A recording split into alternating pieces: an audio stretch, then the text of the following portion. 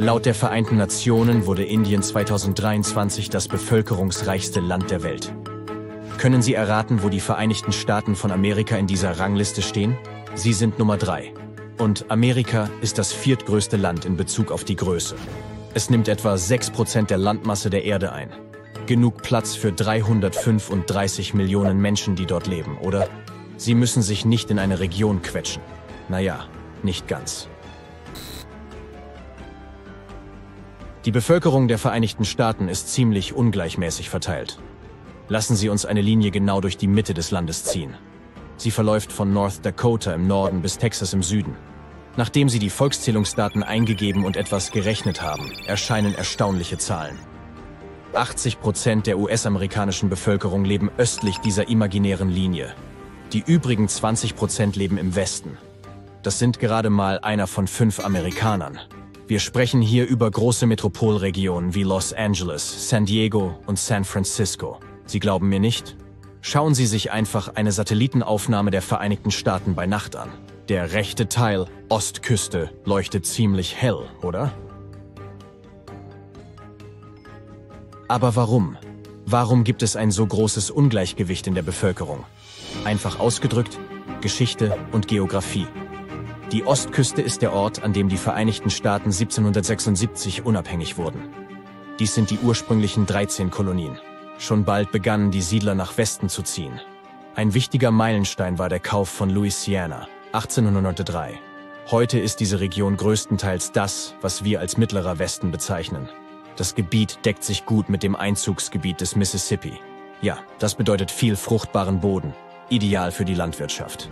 Aber bedeutet das automatisch einen Anstieg der Bevölkerung? Die Demografie der USA zeigt, dass die Mehrheit ihrer Bürger entweder an der Ost- oder Westküste lebt. Dies lässt eine große Landfläche in der Mitte des Landes praktisch leer. Man kennt es als Amerikas dünn besiedelten Gürtel. Das Gebiet erstreckt sich von der kanadischen Grenze im Norden bis nach Mexiko im Süden. Die Gesamtfläche dieses Landstreifens beträgt 350.000 Quadratmeilen. Das ist zweimal so groß wie Kalifornien. Ein riesiges Stück Land. Tatsächlich macht dieser schmale Streifen 12 Prozent der zusammenhängenden USA aus. Das sind die USA ohne Alaska und Hawaii. Der Gürtel verläuft von Nord nach Süd durch sieben Staaten. Aber seine Bevölkerung macht nur ein Prozent der Gesamtzahl der in den USA lebenden Menschen aus. Das bedeutet nicht, dass das Gebiet völlig leer ist. Es ist immer noch Heimat von knapp über drei Millionen Menschen. Das entspricht in etwa der Bevölkerung des Inselstaates Jamaika. Aber hier ist Platz für viele weitere Bewohner. Nehmen wir zum Beispiel Nigeria. Seine Gesamtfläche ist etwas größer als der dünn besiedelte Gürtel in Amerika. Aber die Bevölkerung Nigerias beträgt enorme 206 Millionen Menschen. Das macht es zum siebten bevölkerungsreichsten Land auf dem Planeten. Beeindruckend, nicht wahr? Aber warum schöpft der amerikanische Mittlerer Westen sein Potenzial nicht aus? Zeit für eine letzte Geschichtsstunde. Ich habe bereits erwähnt, wie die Vereinigten Staaten von der Ostküste zur Westküste expandierten. Das bedeutet nicht, dass der Westen zu weit zurücklag.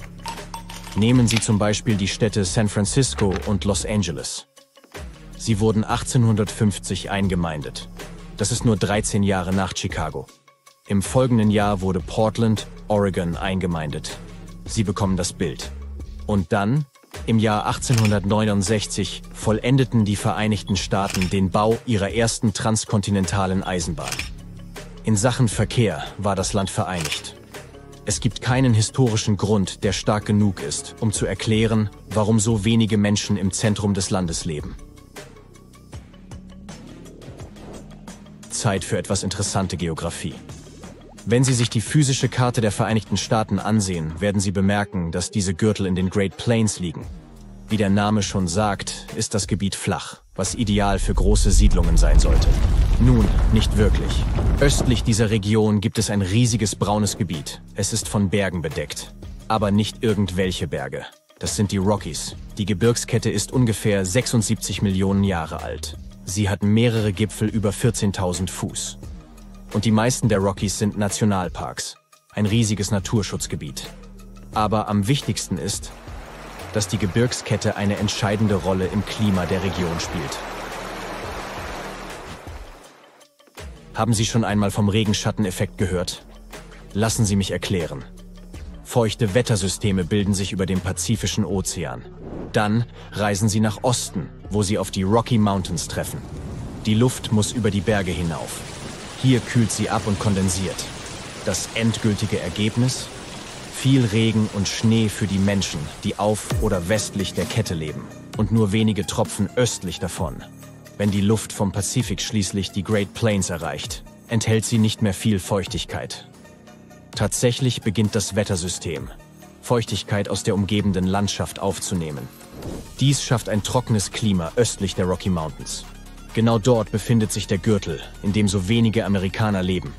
Es ist einer der trockensten Teile des Landes. Also, als Siedler im 19. Jahrhundert kamen, dachten sie, nee, ich fahre einfach weiter westlich. Hinzu kam der Goldrausch in Kalifornien, den sie ansteuerten. Das Klima in diesem Teil der Ebenen ist nicht gut für die Landwirtschaft und große Schwankungen der Lufttemperatur helfen auch nicht. An einem einzigen Tag können die Temperaturen von 70 auf 30 Grad Fahrenheit fallen. Diese plötzlichen Änderungen der Außentemperatur sind schädlich für die menschliche Gesundheit. Es ist, als würden sie an einem glühend heißen Sommertag in einen klimatisierten Raum treten. Kein angenehmes Gefühl. Südkalifornien hat ein ähnlich trockenes Klima. Dennoch leben dort knapp 40 Millionen Menschen. Das macht Kalifornien zum bevölkerungsreichsten US-Bundesstaat. Ihr Geheimnis? Ein weit verzweigtes Netz von Bewässerungskanälen und Aquädukten sowie ein Anteil am Wasser des Colorado River. Die Sommer in den Great Plains werden sehr heiß, während die Winter extrem kalt sind. Der Grund für diese extremen Wetterbedingungen sind Polarwinde, Sie reiten quasi im Windschatten der Rockies und fallen dann schnell in die Plains. Ein Wintertag in Wyoming kann zum Beispiel angenehm warm starten. Aber später am Nachmittag kann die Temperatur leicht unter Null sinken. Man wüsste einfach nicht, wie man sich anziehen soll. Und man würde wahrscheinlich auch nicht hierher ziehen wollen. Das denken auch 99 Prozent der Amerikaner. Menschen mögen es, sich wohlzufühlen. Deshalb entscheiden wir uns dafür, in gemäßigten Klimazonen zu leben. Orte, die entweder zu kalt oder zu heiß sind, haben keine große Bevölkerung. Schauen Sie sich nur mal den trockensten bewohnten Kontinent an. Sie haben richtig geraten, es ist Australien. Fast 70 Prozent des Landes sind entweder trocken oder halbtrocken. Das ist eine subtile Art zu sagen, dass es eine Wüste ist. Deshalb siedeln sich die Australier in Küstengebieten an. 90 Prozent von ihnen leben in großen Städten wie Sydney, Melbourne und Perth. Die einzige Ausnahme ist die Hauptstadt Canberra. Sie wurde im Landesinneren in der Nähe einer Wasserquelle gebaut. Aber das Innere Australiens ist dünn besiedelt, genau wie in den Staaten. Es gibt nur eine größere Stadt auf einer Fläche von zwölf Michigan-Seens. Ein riesiges Lob an die Bewohner von Alice Springs. Sie leben wirklich in einer Oase. Und wie sieht es mit Orten mit gemäßigtem Klima wie Europa aus? Die Bevölkerung ist hier gleichmäßig verteilt, richtig? Ja und nein. Es kommt auf das Land an. In Deutschland leben 77 Prozent der Menschen in städtischen Gebieten. Sie haben viele Großstädte zur Auswahl. Berlin, Hamburg, München und Köln haben alle über eine Million Einwohner. Aber schauen wir uns das benachbarte Frankreich an. Wie viele Städte mit einer Bevölkerung von über einer Million können Sie nennen? Okay, Paris, definitiv. Es hat über 12 Millionen Einwohner im Großraum. Aber jetzt kommt die erschreckende Tatsache. Die nächsten beiden Städte auf der Liste haben jeweils eine Bevölkerung von kaum 2 Millionen. Können Sie das riesige Ungleichgewicht bemerken? Das ist der Fall in den meisten großen europäischen Ländern. In Griechenland zum Beispiel leben 35 Prozent der Bevölkerung in der Hauptstadt, Athen. Daher ist das weitgehend unterbevölkerte Zentrum der Vereinigten Staaten kein einzigartiges Beispiel. Amerika ist das Land der Möglichkeiten. Aber die Chancen, ein besseres Leben zu finden, sind größer in großen Städten. Die 100 größten Ballungsräume des Landes machen mindestens drei Viertel des Bruttoinlandsprodukts der Nation aus. Und die meisten von ihnen sind an der Ost- und Westküste gelegen. Es gibt keine Städte mit über einer Million Einwohnern in Amerikas unterbevölkertem Gürtel. Dubai ist von Grund auf glamourös. Im Jahr 1966 ging dieser Mann vollends daran, ein verschlafenes Fischerdorf in eine glänzende Megastadt voller Wolkenkratzer zu verwandeln. Alles basierte auf Ölgeld. Jahr für Jahr begannen Investoren und Expatriats in die Stadt zu strömen. Und nun beherbergt Dubai Halensky-Gebiete, Freiluft-Wasserparks, drohnengesteuerte Wetterkontrolle, futuristische Gärten und schwimmende Tennisplätze. Aber ist alles so rosig, wie es scheint? Die Stadt ist auf wandernden Sanden in einer Wüste erbaut, in der die Temperaturen 115 Grad Fahrenheit überschreiten können. Könnte Dubai diese katastrophale Mahnung sein, die darauf wartet, einzutreten? Es könnte sein oder auch nicht. Finden wir es heraus. Nun, eines der fragwürdigsten Projekte dieses Emirats könnte tatsächlich in Gefahr sein. Ich spreche von den künstlichen Inseln Dubais vor der Küste. Gebaut aus Sand, der vom Meeresboden hochgezogen wurde, sind sie Teil eines äußerst ehrgeizigen Plans, Resorts und Wohnhäuser für die Superreichen zu schaffen. Doch momentan sind die meisten dieser Inseln weitgehend verlassen und ihr Markt ist zusammengebrochen. Und das Schlimmste? Oh, niemand hat ein solches Ergebnis erwartet. Sie versinken bereits wieder im Meer. Werfen wir einen genaueren Blick auf diese Wunderinseln. Es gibt drei Palmeninseln. Palm Jumeirah, Palm Jebel Ali und Palm Deira, ein Archipel aus 300 kleinen Inseln genannt die Welt und eine letzte Gruppe kleiner Inseln gestaltet nach Sternbildern. Das Universum. Die Bauarbeiten begannen im Jahr 2000 mit den Palmeninseln.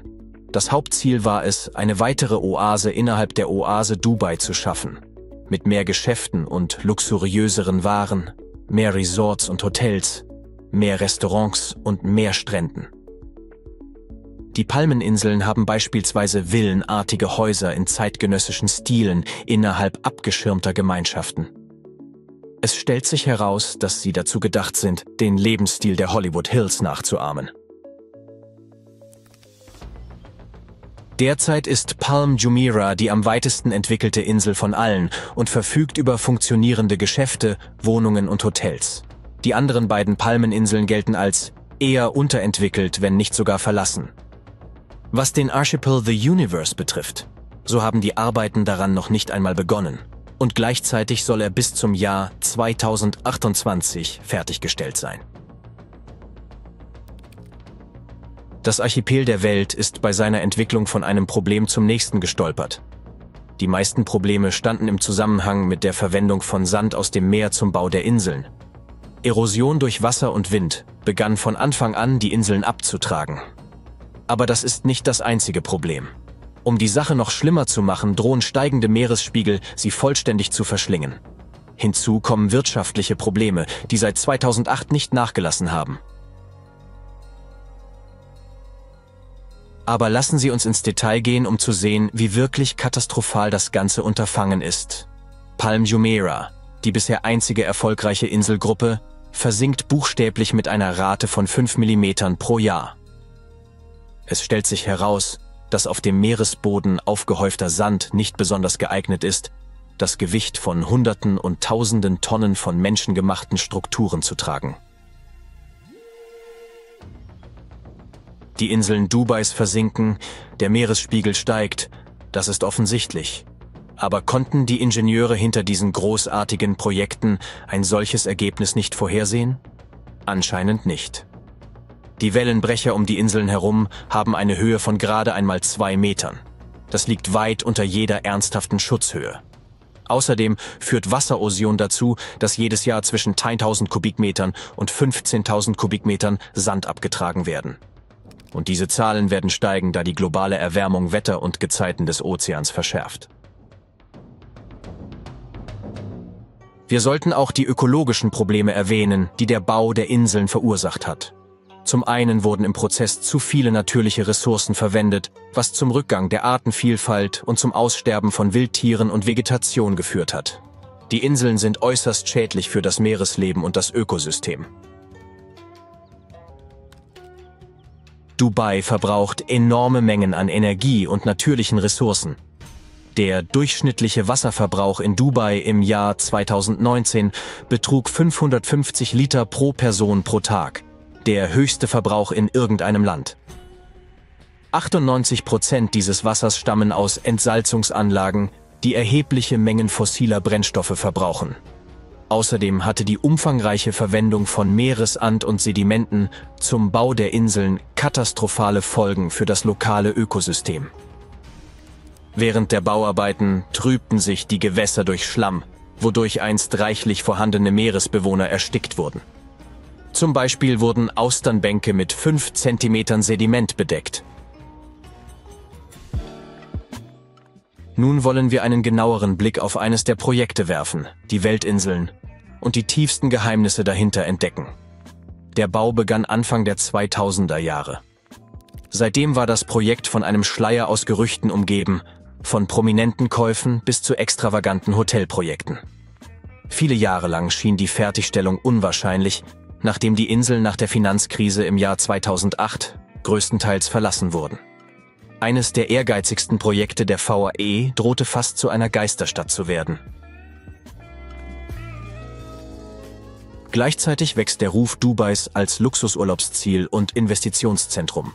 Dies hatte auch Auswirkungen auf die einst verlassenen Weltinseln. Zum Beispiel eröffnete die globale Hotelgruppe Anantara ein 70-Zimmer-Resort namens Anantara World Islands Dubai Resort. Glauben Sie nicht auch, dass dies neue Hoffnung für dieses Reiseziel weckt? Was sind also genau die World Islands? Sie liegen etwa vier Kilometer vor der Küste von Dubai im Persischen Golf. Es handelt sich um eine Sammlung kleiner Inseln, die die Welt im Miniaturformat nachbilden. Jede Insel trägt einen eigenen Namen, der einem bestimmten Land entspricht. Der Archipel wurde von der in Dubai ansässigen Firma Nakil Projects geschaffen.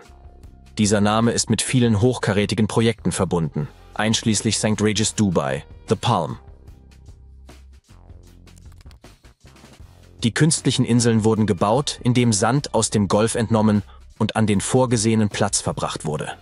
Mehrere Millionen Tonnen Felsen wurden verwendet, um sie an Ort und Stelle zu halten.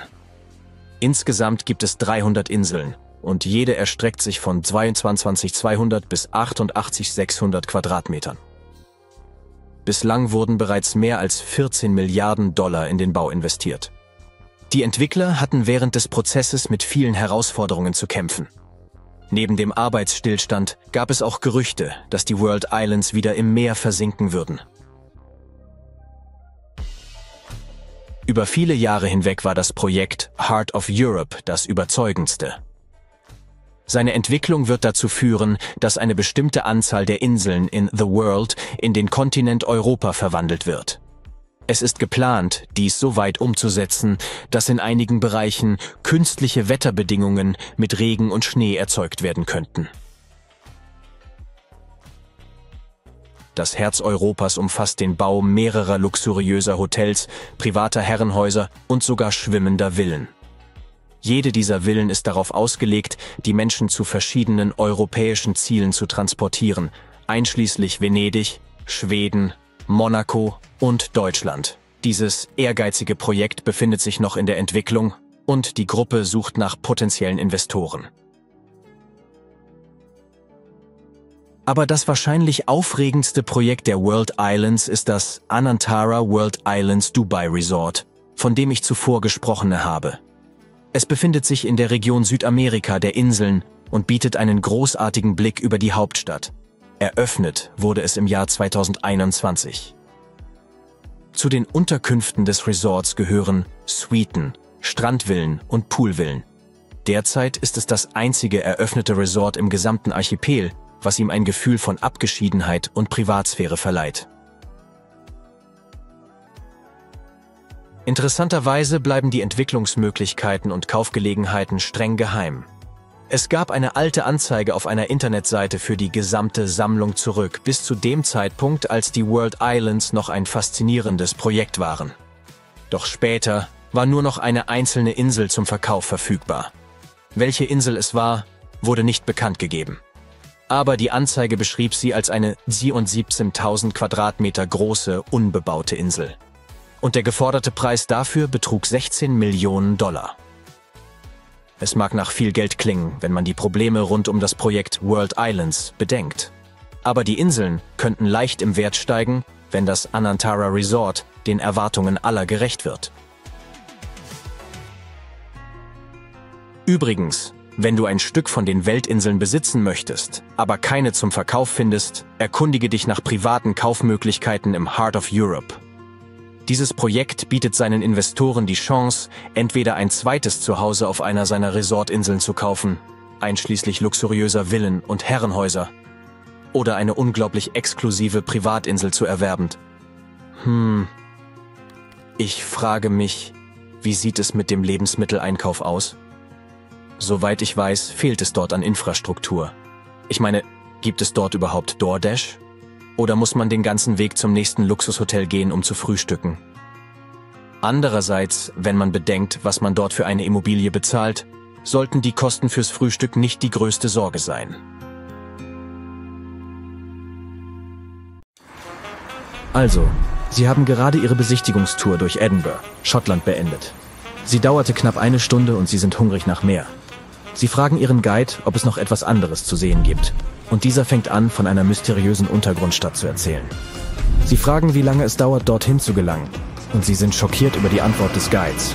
Sie stehen darauf. Sie ist direkt unter Ihren Füßen. South Bridge? Aber Sie waren doch gerade dort und haben keinen riesigen Pfeil bemerkt, der nach unten zeigt. Hm, also hier beginnt das Rätsel. Die Geschichte beginnt Mitte des 18. Jahrhunderts. Die schottische Hauptstadt war damals nicht so groß wie heute. Bevölkerung 500.000 Menschen. Nur 60.000 Menschen lebten um das Edinburgh Schloss herum. Alle waren sie innerhalb der mittelalterlichen Mauern gepackt. Und man sagt, die heutigen Städte seien überbevölkert. Stellen Sie sich die Wohnverhältnisse damals vor. Die Gebäude waren hoch, sodass es wenig natürliches Licht gab. Einige Häuser hatten 14 Stockwerke. Kühe liefen durch die engen, gewundenen Straßen und ließen Zeug zurück. Die Dinge waren so schlecht, dass der berühmte englische Schriftsteller Daniel Defoe bemerkte, ich glaube, in keiner Stadt der Welt haben so viele Menschen so wenig Raum. Ja, das ist der Kerl, der Robinson Crusoe geschrieben hat. Nun, etwas musste einfach getan werden. Die Lösung bestand darin, zwei lange Brücken nördlich und südlich der Stadt zu bauen. Die Namen, die sie den Brücken gaben, waren eher beschreibend als farbenfroh. Nordbrücke und Südbrücke. Die Brücke im Norden wurde zuerst fertiggestellt. Im Jahr 1785 begann der Bau der zweiten Brücke. Sie sollte die Hauptfußgängerstraße im Norden mit den Universitätsgebäuden im Süden von Edinburgh verbinden. Aber denken Sie nicht an diese Konstruktion als eine moderne Brücke über einen Fluss. Es war eher ein Viadukt, eine Art von Brücke, die zwei Hügel über ein Tal verbindet. Das Wort Viadukt stammt aus dem Lateinischen, da die Römer Pioniere im Bau dieser Strukturen waren. Ihre Hauptstadt Rom wurde auf sieben Hügeln erbaut. Und um den Römern nachzueifern, erstreckt sich auch Edinburgh über sieben große Hügel. Heute sind jedoch nur noch zwei sichtbar, da die Stadt bebaut wurde. Im 18. Jahrhundert war der Bau der Südbrücke eine bemerkenswerte Ingenieurleistung. Die Bauarbeiter brauchten nur drei Jahre, um sie fertigzustellen. 1785 G 1788. 19 steinerne Bögen überspannten eine Schlucht, die an ihrer tiefsten Stelle 9,4 Meter tief war. Und die Länge? Über 305 Meter. Beeindruckend, selbst nach heutigen Maßstäben. Aber was hat ein über zweieinhalb Jahrhunderte alter Viadukt mit einer unterirdischen Stadt zu tun? Nun, es ist die Stadt. Sie sehen, die Südbrücke wurde so konzipiert, dass sie innen hohl ist. Wenn Sie heute diese Straße entlang gehen, befindet sich tatsächlich eine riesige von Menschenhand geschaffene Höhle unter Ihren Füßen. Der gebräuchliche Name für diesen Satz von Kammern ist die Edinburgher Gewölbe. Aber was war der Zweck dieses Raumes? Und gibt es dort jetzt etwas oder jemanden? Gehen wir es Schritt für Schritt an. Die ursprüngliche Absicht der Bauherren war es, dass diese Gewölbe als Kaufmannsläden dienen sollten. Anfangs funktionierte das gut. Die Kaufleute nutzten insgesamt 120 Gewölbe als Geschäfte und Lagerhäuser. Es gab Werkstätten, Schuster und Tavernen. Doch mit der Zeit kam ein gravierender Konstruktionsfehler zum Vorschein. Der Stein war undicht und die Gewölbe waren ständig feucht. Es gab sogar Überschwemmungen. Die Bauherren vergaßen, die Struktur wasserdicht zu machen. Die Kaufleute fürchteten, das Wasser könnte ihre wertvollen Waren beschädigen. Schon nach ein paar Jahren zogen die ersten Mieter aus. Als der legale Handel sich von den Gewölben wegbewegte, zogen die Armen der Stadt ein. Und nicht nur sie, sondern auch allerlei zwielichtige Gestalten. Historiker wissen nicht viel über diese Periode, da es keine schriftlichen Aufzeichnungen gibt. Aber selbst die Hausbesetzer mussten bald gehen. Wenn man in diesen Gewölben kein Geschäft betreiben konnte, wie könnte man dann darin leben? Es war feucht und kalt und es gab keine Belüftung, sanitäre Anlagen oder natürliches Licht. Es stank wirklich. Der schlimmste Albtraum jedes Immobilienmaklers. Nur 30 Jahre nach ihrer Fertigstellung wurden die Southbridge Walls endgültig aufgegeben. Aber auf Straßenebene war das Geschäft wie üblich. Die Beamten entschieden aus Sicherheitsgründen, die Tresore mit Schutt zu füllen. Begraben und vergessen verblasste die Erinnerung an das einst blühende Kaufmannsviertel von Edinburgh langsam aus den Gedanken der Menschen. Jetzt wird die Geschichte etwas seltsam. In den 1980 Jahren fand ein schottischer Rugby-Spieler, Norrie Rowan, zufällig einen Tunnel, der in die Tresore führte. Der Sportler zögerte nicht lange und begann mit Hilfe seines Sohnes die Tresore auszugraben. Mehrere Tonnen Schutt und ein Jahrzehnt später wurden die Tresore der Southbridge wieder auf ihren alten Glanz zurückgebracht sozusagen. Sie waren wieder dunkel und feucht, wie sie schon in den 1700 Jahren waren. In dieser unterirdischen Stadt gab es viele interessante Funde. Die Gewölbe waren mit Austernschalen übersät, die zur damaligen Zeit die Standardkost für einen Arbeiterklassebewohner in Edinburgh darstellten. Andere Funde, wie Schuhe und leere Flaschen, legten nahe, dass Menschen tatsächlich in diesen klaustrophobischen Gewölben lebten. Denken Sie daran, wenn Sie das nächste Mal sehen, wie jemand versucht, seine Garage als Wohnung zu vermieten. Also, Ihr Reiseführer hatte recht. Es gibt tatsächlich eine verborgene Stadt unter den Straßen von Edinburgh. Nun ja, zumindest unter einer Straße. Sie sind jetzt von der Hauptfußgängerzone, High Street, auf die Cowgate hinuntergegangen. Sie schauen hoch und da ist sie. Der einzige sichtbare Bogen der einst beeindruckenden Brücke. Nun suchen Sie online um eine Tour durch die Gewölbe zu buchen. Sie müssen diesen Ort einfach mit eigenen Augen sehen. Aber die schottische Hauptstadt ist nicht die einzige Stadt mit einem geheimnisvollen Untergrund. Die historische Region Kappadokien im Zentrum der Türkei verbirgt nicht weniger als 36 Städte unter der Erde. Die größte und eindrucksvollste davon, Derinkuyu, wurde erst 1963 entdeckt. Sie wurde in der byzantinischen Ära acht Jahrhundert erbaut, um die lokale Bevölkerung vor Eindringlingen zu schützen. Wir haben ähnliche Strukturen aus Beton in unseren Städten, aber das Ausmaß der türkischen Untergrundstadt ist wirklich beeindruckend.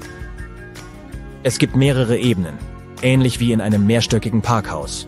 Die Höhlen und Tunnel liegen 60 Meter unter der Erde. Das sind zwei Drittel der Höhe der Freiheitsstatue. Die Stadt konnte zu jeder Zeit 20.000 Menschen beherbergen, inklusive Vieh und Nahrung. Hm, der Geruch. 20.000 ist die durchschnittliche Zuschauerzahl bei Spielen der Major League Soccer heute. Vielleicht möchten Sie bei Ihrem nächsten Türkei-Besuch einen Ausflug zu einem dieser Orte einplanen. Die meisten dieser Städte in Kappadokien befinden sich in ländlichen Gebieten. Macht Sinn, oder? Schließlich wurden sie als Verstecke ausgehoben. Aber in Europa gibt es eine Stadt, deren unterirdisches Labyrinth den Gewölben in Edinburgh ähnelt. Sie haben wahrscheinlich schon von Pilsen in der Tschechischen Republik gehört. Aber warten Sie einen Moment. Dies wird nicht die Geschichte des bekanntesten lokalen Produkts sein. Etwas Gebräu vielleicht. Es ist die Geschichte einer mittelalterlichen Stadt, die unter den Straßen von Pilsen überlebt hat. Wasserbrunnen, Keller und Durchgänge erstrecken sich über mehr als 20 Kilometer. Händler und Handwerker nutzten das historische Untergrund von Pilsen zur Lagerung. Wasser, Nahrung, Eis nennen sie es. Die Wasserversorgung ist ziemlich beeindruckend. Historiker schätzen, dass sich 360 Brunnen unter dem historischen Stadtzentrum von Pilsen befinden. In Zeiten der Instabilität dienten die Durchgänge den Einheimischen als sichere Zuflucht. Sie hatten dort definitiv keinen Durst. Heutzutage besuchen hauptsächlich Touristen diese geheimnisvollen Untergrundstädte. Aber in Kanada gibt es eine Reso, in der Menschen leben und arbeiten. Der Bau der Untergrundstadt von Montreal begann 1962. Die ursprüngliche Idee war, den Verkehr zu schützen. Das ist eine nette Art zu sagen, dass die Stadtoberen eine U-Bahn-Station bauten. Die Idee fand Anklang und das Projekt erweiterte sich. Nun ist es ein echtes urbanes Labyrinth, versteckt unter der Innenstadt. Brauchen Sie einen Platz zum Übernachten? Dort unten gibt es Hotels. Hunger? Kein Problem. Essen Sie doch in einem der Untergrundrestaurants. Zahlreiche Geschäfte, eine Bibliothek, Kinos. Die Liste ist lang. Es gibt sogar Wohnkomplexe. Aber wie können Menschen unter der Erde leben? Ganz einfach. Obwohl die Stadt selbst unter der Erde liegt, befinden sich die Zugangspunkte auf Straßenniveau.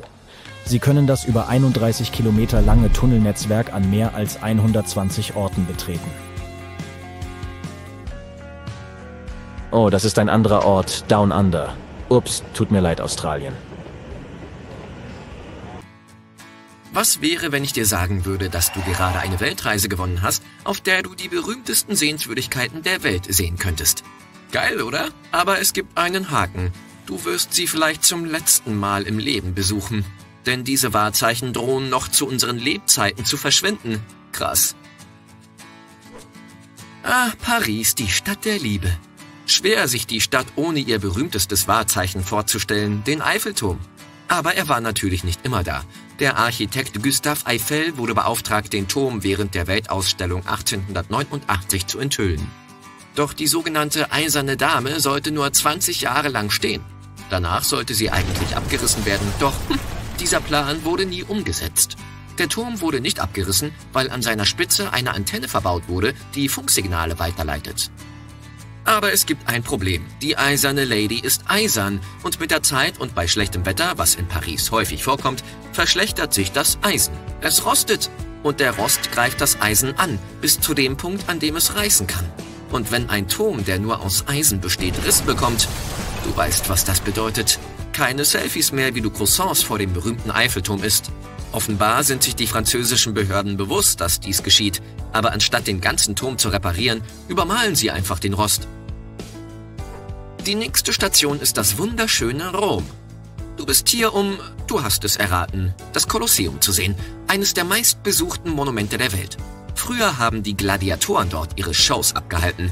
Ah ja, du kannst genauso Arrivederci sagen, solange du noch kannst. Wie viele antike Monumente ist auch das Kolosseum kurz davor zu verschwinden. Es hat fast 2000 Jahre überstanden, seit es von Kaiser Vespasian in Auftrag gegeben wurde. Doch wegen des rauen Wetters, dem es jedes Jahr ausgesetzt ist, wird das Monument immer schwächer. Das Problem hier ist vor allem der Schnee. Wenn Schnee auf das Kolosseum fällt, dringt das gefrierende Wasser in die Risse der Steine ein und dehnt sich aus. Weißt du, so wie wenn man eine Limonadendose in den Gefrierschrank stellt und der Boden herausspringt. Ich weiß, es schneit nicht oft in Rom, aber selbst seltene Minusgrade können das Kolosseum ernsthaft beschädigen. Und da wir das Wetter nicht kontrollieren können, wer weiß, wie lange wir diese Schönheit noch begutachten können. Nach einem Nachtflug nach Indien kommst du am einzigartigen Taj Mahal an. In Natura ist es noch faszinierender als auf den Bildern. Das Taj Mahal ist eines der sieben Weltwunder der Neuzeit. Aber warum droht es bald zu verschwinden, fragst du dich? Das Monument wurde bereits 1643 aus makellosem weißem Marmor erbaut, als Geschenk des Kaisers Shah Jahan an seine geliebte Frau. Aber wenn unsere weißen Hemden schon schmutzig werden, wenn wir aus dem Haus gehen, stell dir ein Freilichtdenkmal vor, das seit über vier Jahrhunderten besteht. Das Taj Mahal befindet sich in der Stadt Agra, direkt am Yamuna-Fluss. Im Laufe der Jahre ist die Region stark verschmutzt worden. Und diese Verschmutzung trägt dazu bei, das Taj zu zerstören. Indiens oberster Gerichtshof hat sich schon viele Jahre mit dem Fall beschäftigt und sagt, das Monument wird grünlich und braun. Also haben die obersten Behörden beschlossen, dass entweder die örtliche Regierung das Taj Mahal vollständig restauriert oder es geschlossen wird. Oder schlimmer noch, sie zerstören es. Zum Wohle der Menschheit hoffe ich, dass sie sich bereits für die Restaurierung entschieden haben. Sonst haben wir nur noch sechs Wunder. Ah, endlich. Du hast es nach Südamerika geschafft. Genauer gesagt bist du jetzt in dem gebirgigen Land Peru. Wenn du nicht an solche Höhen gewöhnt bist, könnte dir ein wenig schwindlig werden. Aber das ist es wert, um die faszinierenden Inka-Ruinen von Machu Picchu zu sehen. Die Stadt befindet sich auf über 2400 Metern über dem Meeresspiegel und niemand weiß, wie die Inkas ein so ausgeklügeltes Dorf gebaut haben. Deshalb zieht die Stätte jedes Jahr rund 440.000 Besucher an. Doch da die Vorschriften nicht so streng sind, verfällt die Stätte langsam. Machu Picchu könnte das Opfer des sogenannten Übertourismus sein. Ich meine, wenn man sich die Aufnahmen der Städte an einem normalen Tag ansieht, ist es ziemlich überfüllt. Und auch wenn es sich um eine Stadt aus Stein handelt und Steine ziemlich widerstandsfähig sind, leiden sie doch unter der Erosion. Ob nun vom Menschen oder vom Wetter gemacht. Mann, das hört sich wirklich nicht gut an. Es gibt noch ein weiteres steinernes Denkmal, das du auf deiner Liste abhaken musst. Kannst du erraten, welches? Ja, Stonehenge. Es liegt in den friedlichen Hügeln von Wiltshire, England und existiert schon seit über 5000 Jahren. Niemand weiß genau, wann es erbaut wurde, aber hab Geduld. Wenn die einzige Ursache für das Verschwinden die Erosion wäre, dann würde es Millionen von Jahren dauern, bis das Monument verschwindet. Seit 1995 haben die britischen Behörden mehrfach vorgeschlagen, einen unterirdischen Tunnel zu bauen, der den Südosten und den Südwesten Englands verbindet. Das Problem ist nur, dass der Tunnel unter Stonehenge verläuft und das Fundament der Anlage erschüttern könnte. Nicht so gut. Wie dem auch sei, seit das Projekt vorgeschlagen wurde, haben lokale Befürworter des Monuments eine Allianz zur Rettung von Stonehenge gegründet, um das Monument zu schützen. Sie glauben fest daran, dass ein Vorhaben wie dieser Tunnel der Städte schweren Schaden zufügen würde. Ah, Ägypten. Diesmal reist du mit Stil zu deinem Ziel. Und damit meine ich Kamele. Nur für den Fototermin versteht sich. Aber warum bist du hier? Du bist gekommen, um dir die große Sphinx anzusehen. Du weißt schon, die mit der gebrochenen Nase. Die Sphinx wurde auch vor langer, langer Zeit gebaut. Vor über 4000 Jahren. Und damals verwendete man, was man zur Verfügung hatte. Kalksteine. Nun glauben einige Forscher, dass gefährliches Wetter die Kalksteine der Sphinx beschädigt haben könnte. Es handelt sich um sehr poröse Gesteinsarten, sodass Wasser leicht in sie eindringt und die Erosion verstärkt und beschleunigt. Doch das Wasser kommt auch von unten. Im Gegensatz zu den Pyramiden von Gizeh wurde die große Sphinx direkt aus dem Grundgestein gemeißelt. Und direkt unter dem Monument befindet sich ein Flussbett, das ebenfalls in die Sphinx eindringt und sie schwächt. Ich drück die Daumen, dass es in Ägypten in den nächsten Jahrhunderten nicht zu viel regnet. Ich hoffe, du hast deinen Badeanzug dabei, denn es ist Zeit, tief ins tote Meer einzutauchen. Nur wirst du nicht allzu weit kommen, Weißt du, na weil das Wasser so viel Salz enthält, dass du praktisch nur treibst. Fun Fact, dieses Meer ist zehnmal salziger als der Ozean.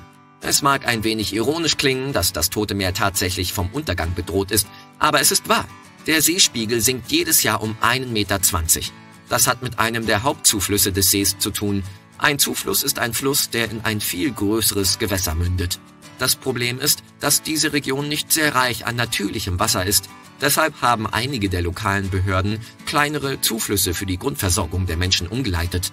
Da aber jede Aktion eine Reaktion nach sich zieht, steht das Tote Meer nun vor einigen Schwierigkeiten. Zurück in die USA. Es ist Zeit, die Stadt, die niemals schläft, zu besuchen. Und wenn du meine Reisepläne bis jetzt kapiert hast, kennst du bereits das Wahrzeichen, das wir besuchen werden. Es ist die Lady Liberty.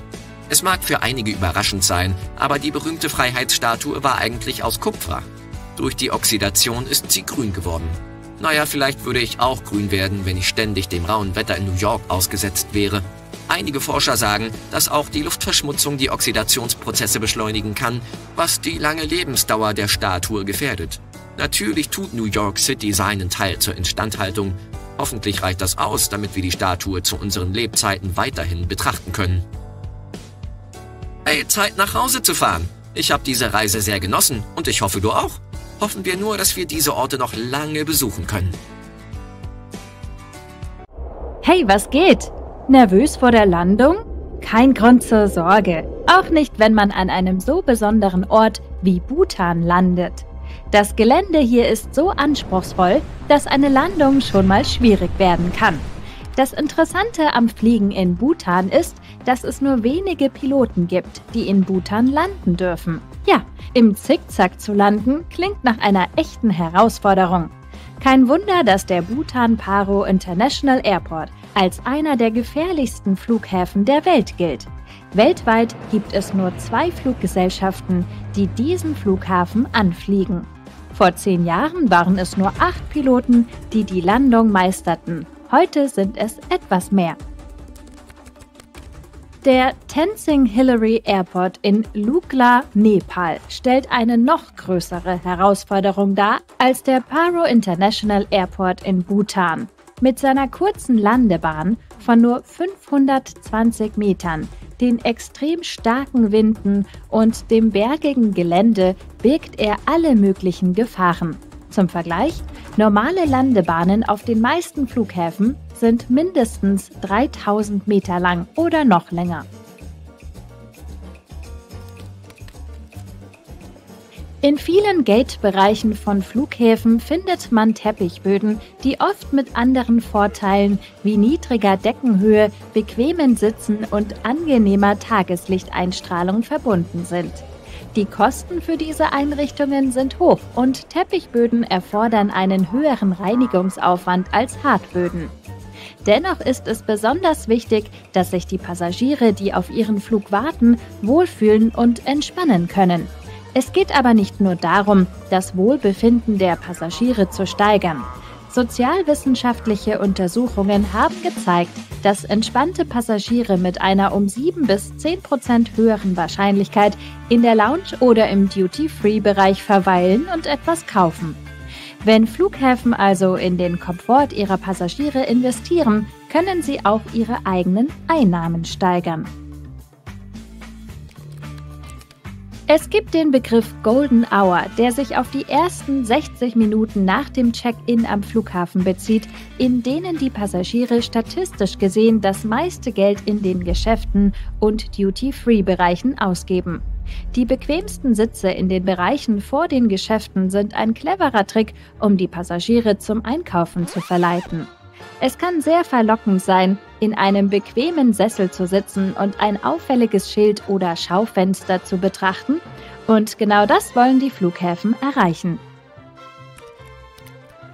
Wer kennt das nicht? Man steht an der Sicherheitskontrolle und stellt plötzlich fest, dass man etwas Verbotenes im Handgepäck hat. Wasserflasche AD. Alternativ kann man sich das Gepäckstück an eine beliebige Adresse im Land schicken lassen und wenn man es nicht abholt, wird es in der Regel 60 Tage lang aufbewahrt. Wenn die Sicherheitskräfte etwas mitnehmen und niemand es abholt, wird es sogar versteigert und in alle Welt verschickt.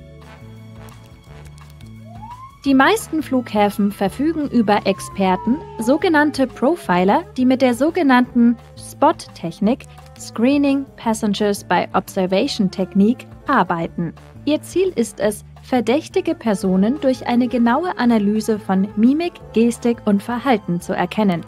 Zu den nonverbalen Anzeichen, auf die sie achten, gehören beispielsweise Lippenlecken, Kratzen oder ständiges Umschauen. Stellt ein Profiler fest, dass sich jemand merkwürdig verhält, kann er die Person zu einer Inspektion einladen, um mehr über sie herauszufinden. Profiler arbeiten sowohl am Hauptterminal als auch an der Passkontrolle und stellen typische Fragen wie Was ist der Zweck Ihres Besuchs? Sie beobachten dann die Reaktion der Person auf diese Frage, um mögliche Hinweise zu finden. Unabhängig davon, wie unauffällig ein Passagier zu sein scheint, können die TSA-Beamten in seinem Verhalten kleinste Hinweise darauf finden, ob er etwas zu verbergen hat. Du bist am Flughafen angekommen und freust dich auf ein paar Wochen Urlaub von Arbeit und Alltag, nur um festzustellen, dass das Parken auf dem Flughafenparkplatz ein kleines Vermögen kostet. Warum so teuer? Ein Flughafenparkhaus ist wie jedes andere Unternehmen ein Wirtschaftsbetrieb. Das Grundstück, der Bau des Parkhauses selbst sowie die Instandhaltung erfordern enorme finanzielle Mittel, die natürlich von den Nutzern gedeckt werden müssen.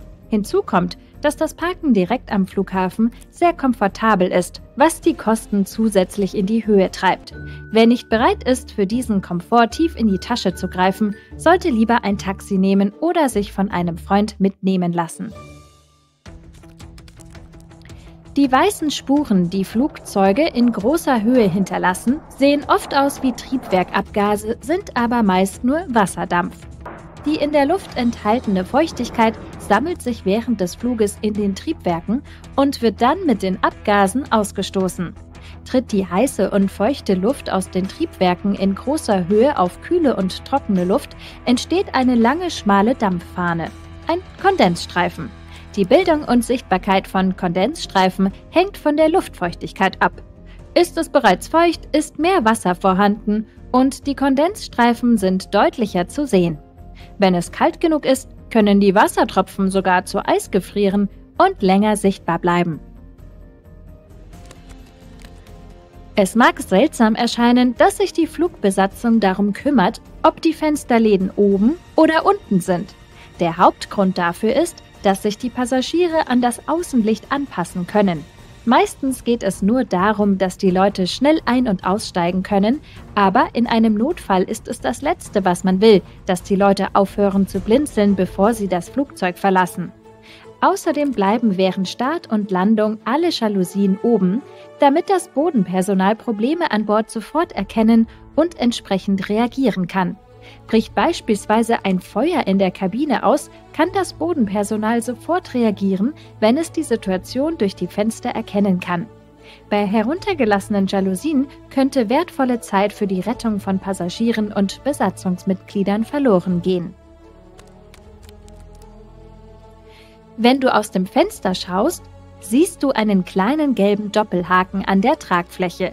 Das sieht zwar komisch aus und könnte die Aerodynamik beeinträchtigen, dient aber der Sicherheit. Bei einer Notlandung werden Seile an diesen Haken befestigt, um die Passagiere über die Tragflächen aus dem Flugzeug zu ziehen. Auf rutschigem Untergrund kann das Seil auch als Haltegriff dienen, um einen Absturz zu verhindern. Juhu!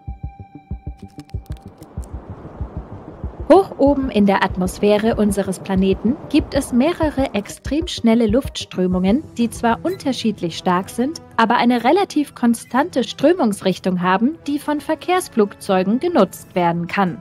Kommt ein Flugzeug in die Nähe eines Jetstreams, kann es dessen Strömungsrichtung nutzen und dadurch deutlich schneller fliegen.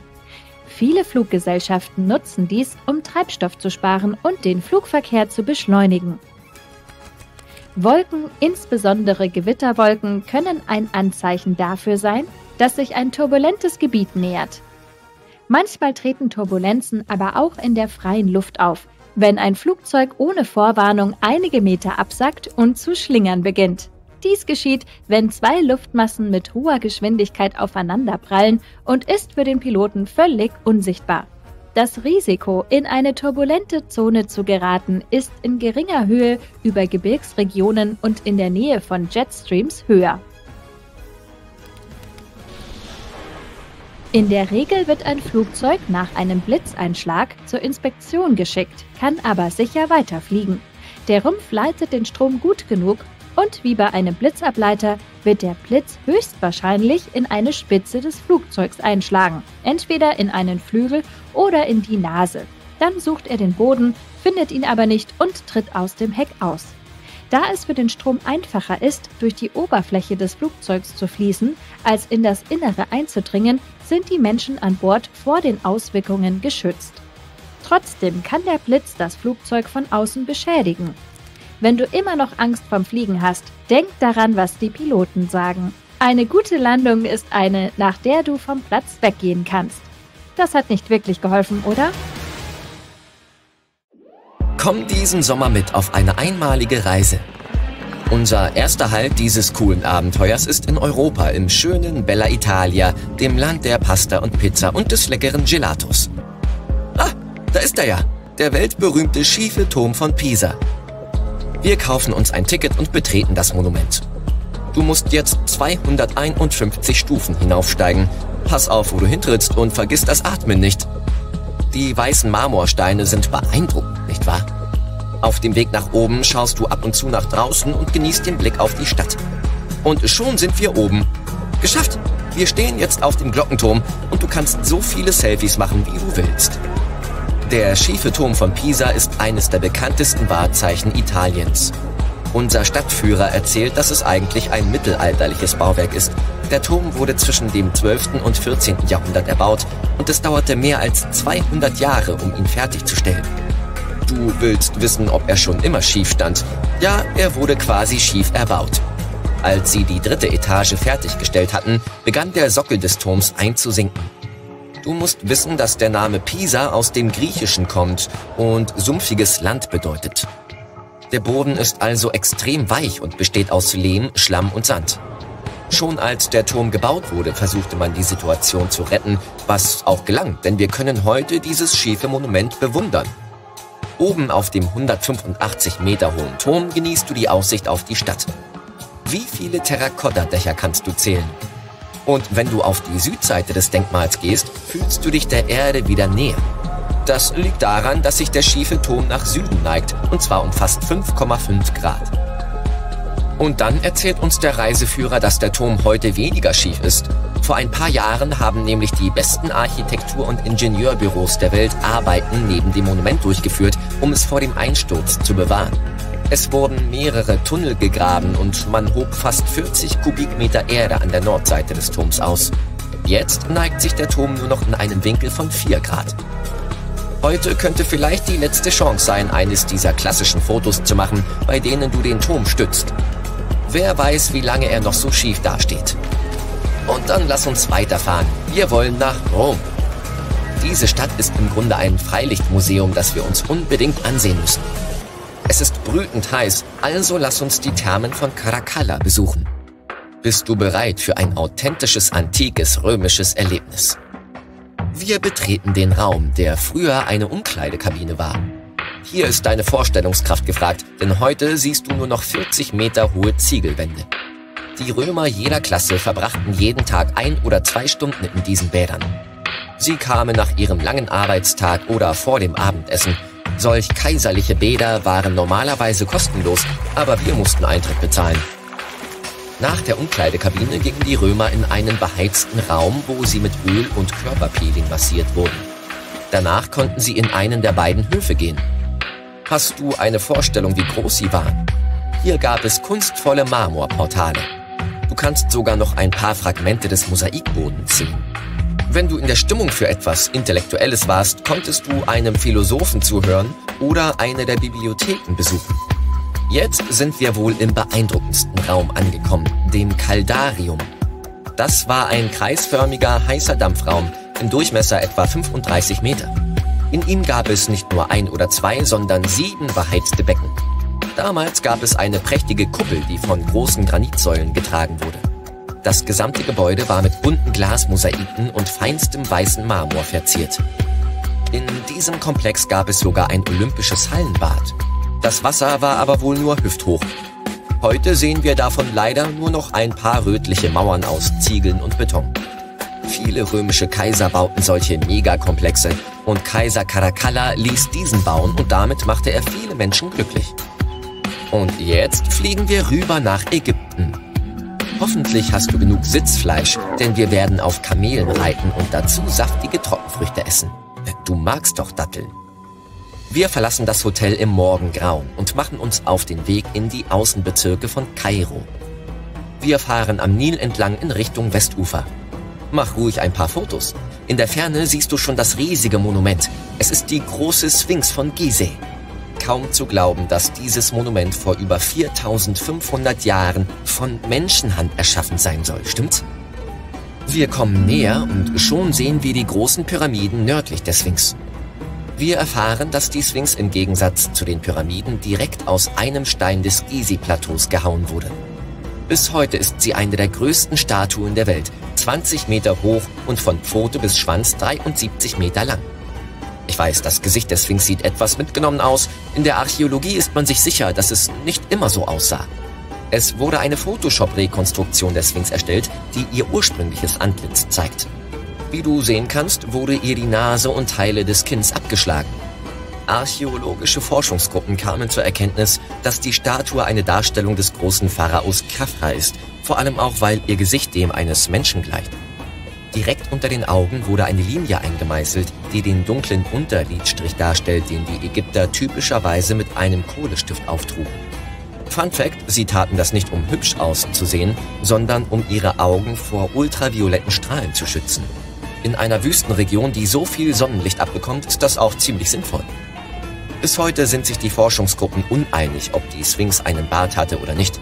Aber wenn sie diesem Pharao nachempfunden ist, dann wird sie höchstwahrscheinlich einen geflochtenen Bart gehabt haben, der aber im Laufe der Zeit durch Erosion zerstört wurde. Was wir aber noch sehen können, sind die Überreste eines Kopfschmucks auf der Sphinx. Er steht für Macht und Reichtum. Jetzt aktiviere nochmal deine Vorstellungskraft und stell dir blaue und goldene Streifen entlang des Kopfschmucks vor. So sah er wahrscheinlich aus, als die Statue fertig war. Leider werden wir nie erfahren, wie lange der Bau der Sphinx gedauert hat. Es gibt keine Hinweise dazu. Sicher ist aber, dass es sehr lange gedauert haben muss, denn die gemeißelten Details sind ziemlich beeindruckend. Vielleicht haben wir Glück und unser Guide führt uns in eine dieser geheimen Kammern im Inneren der Statue. Falls es sie wirklich gibt und nicht nur ein Mythos sind. Ach, ich träume schon lange vom kristallklaren Wasser Griechenlands. Egal, ob wir mit dem Boot oder dem Flugzeug ankommen, es erwartet uns ein wahrer Genuss. Griechenland, das Mekka für archäologische Stätten. Wir erreichen den Yachthafen von Mandraki. Aber wo sind die Denkmäler? Sollte hier nicht der Koloss von Rhodos stehen? Ja, aber der wurde vor langer, langer Zeit zerstört. Bevor die große Statue bei einem verheerenden Erdbeben in sich zusammenfiel, galt sie als eines der sieben Weltwunder der Antike. Du kannst dir den Koloss also leider nur auf Bildern ansehen, doch verwechsle ihn nicht mit Lady Liberty. Das wäre nämlich gar nicht so abwegig, denn offenbar gibt es eine Verbindung zwischen der Statue von Rhodos und der Freiheitsstatue. Beide wurden als Symbol der Freiheit errichtet. Daher wird Lady Liberty auch oft als der moderne Koloss bezeichnet. Der Koloss von Rhodos war etwa 30 Meter hoch. Aber heute sehen wir leider nur noch einen Betonsteg mit einer großen Lücke in der Mitte. Doch stell dir eine Bronzestatue vor, die sich über beide Enden des Stegs erhebt. Der Koloss wurde im dritten Jahrhundert vor Christi erbaut. 900 Kamele waren wohl an dem Bau beteiligt. Die Statue thronte über dem Hafen etwa 54 Jahre, bevor sie durch ein heftiges Erdbeben zerstört wurde. Es traf die Gegend so stark, dass von der Statue nur ein großer Fuß übrig blieb. Trotzdem strömen jedes Jahr viele Besucher hierher. Wir ja auch. Und schon Heimweh? Schön, dass du mich auf dieser Reise begleitet hast. Schreib mir, welcher dein Lieblingsort war. Bis zum nächsten Mal. Wir schreiben das Jahr 2010. Du befindest dich in den japanischen Gewässern des Pazifiks, etwa 1200 Kilometer südlich von Tokio und ganz in der Nähe der Insel Iwo Jima. Der Himmel ist klar und es gibt fast keine Wellen. Doch dann kommt ein schweres, tiefes Grollen von irgendwo tief unter dem Meer und schreckt die Möwen auf. Dann wird es still, zu ruhig. Es scheint, als würde sich keine Welle trauen, einen Ton von sich zu geben. Plötzlich steigt eine kleine Luftblase an die Oberfläche des Wassers auf. Dann folgen tausende Luftblasen. Das Wasser erhitzt sich und beginnt zu kochen. Die Wassertemperatur ist so hoch, dass du darin Eier und Nudeln kochen könntest. Die kochende Fläche wächst auf die Größe eines Stadions an. Sehr viel Dampf strömt in die Luft. Du kannst die Umrisse eines riesigen Objekts durch das kochende Wasser erkennen. Dann ist alles vorbei. Das Wasser kühlt ab, die Menge der Blasen nimmt ab und die Meeresoberfläche wird wieder ruhig. In diesem Jahr brach an dieser Stelle ein Unterwasservulkan aus. Zum Glück wurden keine ernsthaften Folgen ausgelöst. Im August 2021 wiederholte sich der Ausbruch. Aber dieses Mal gab es nicht nur sprudelndes Wasser.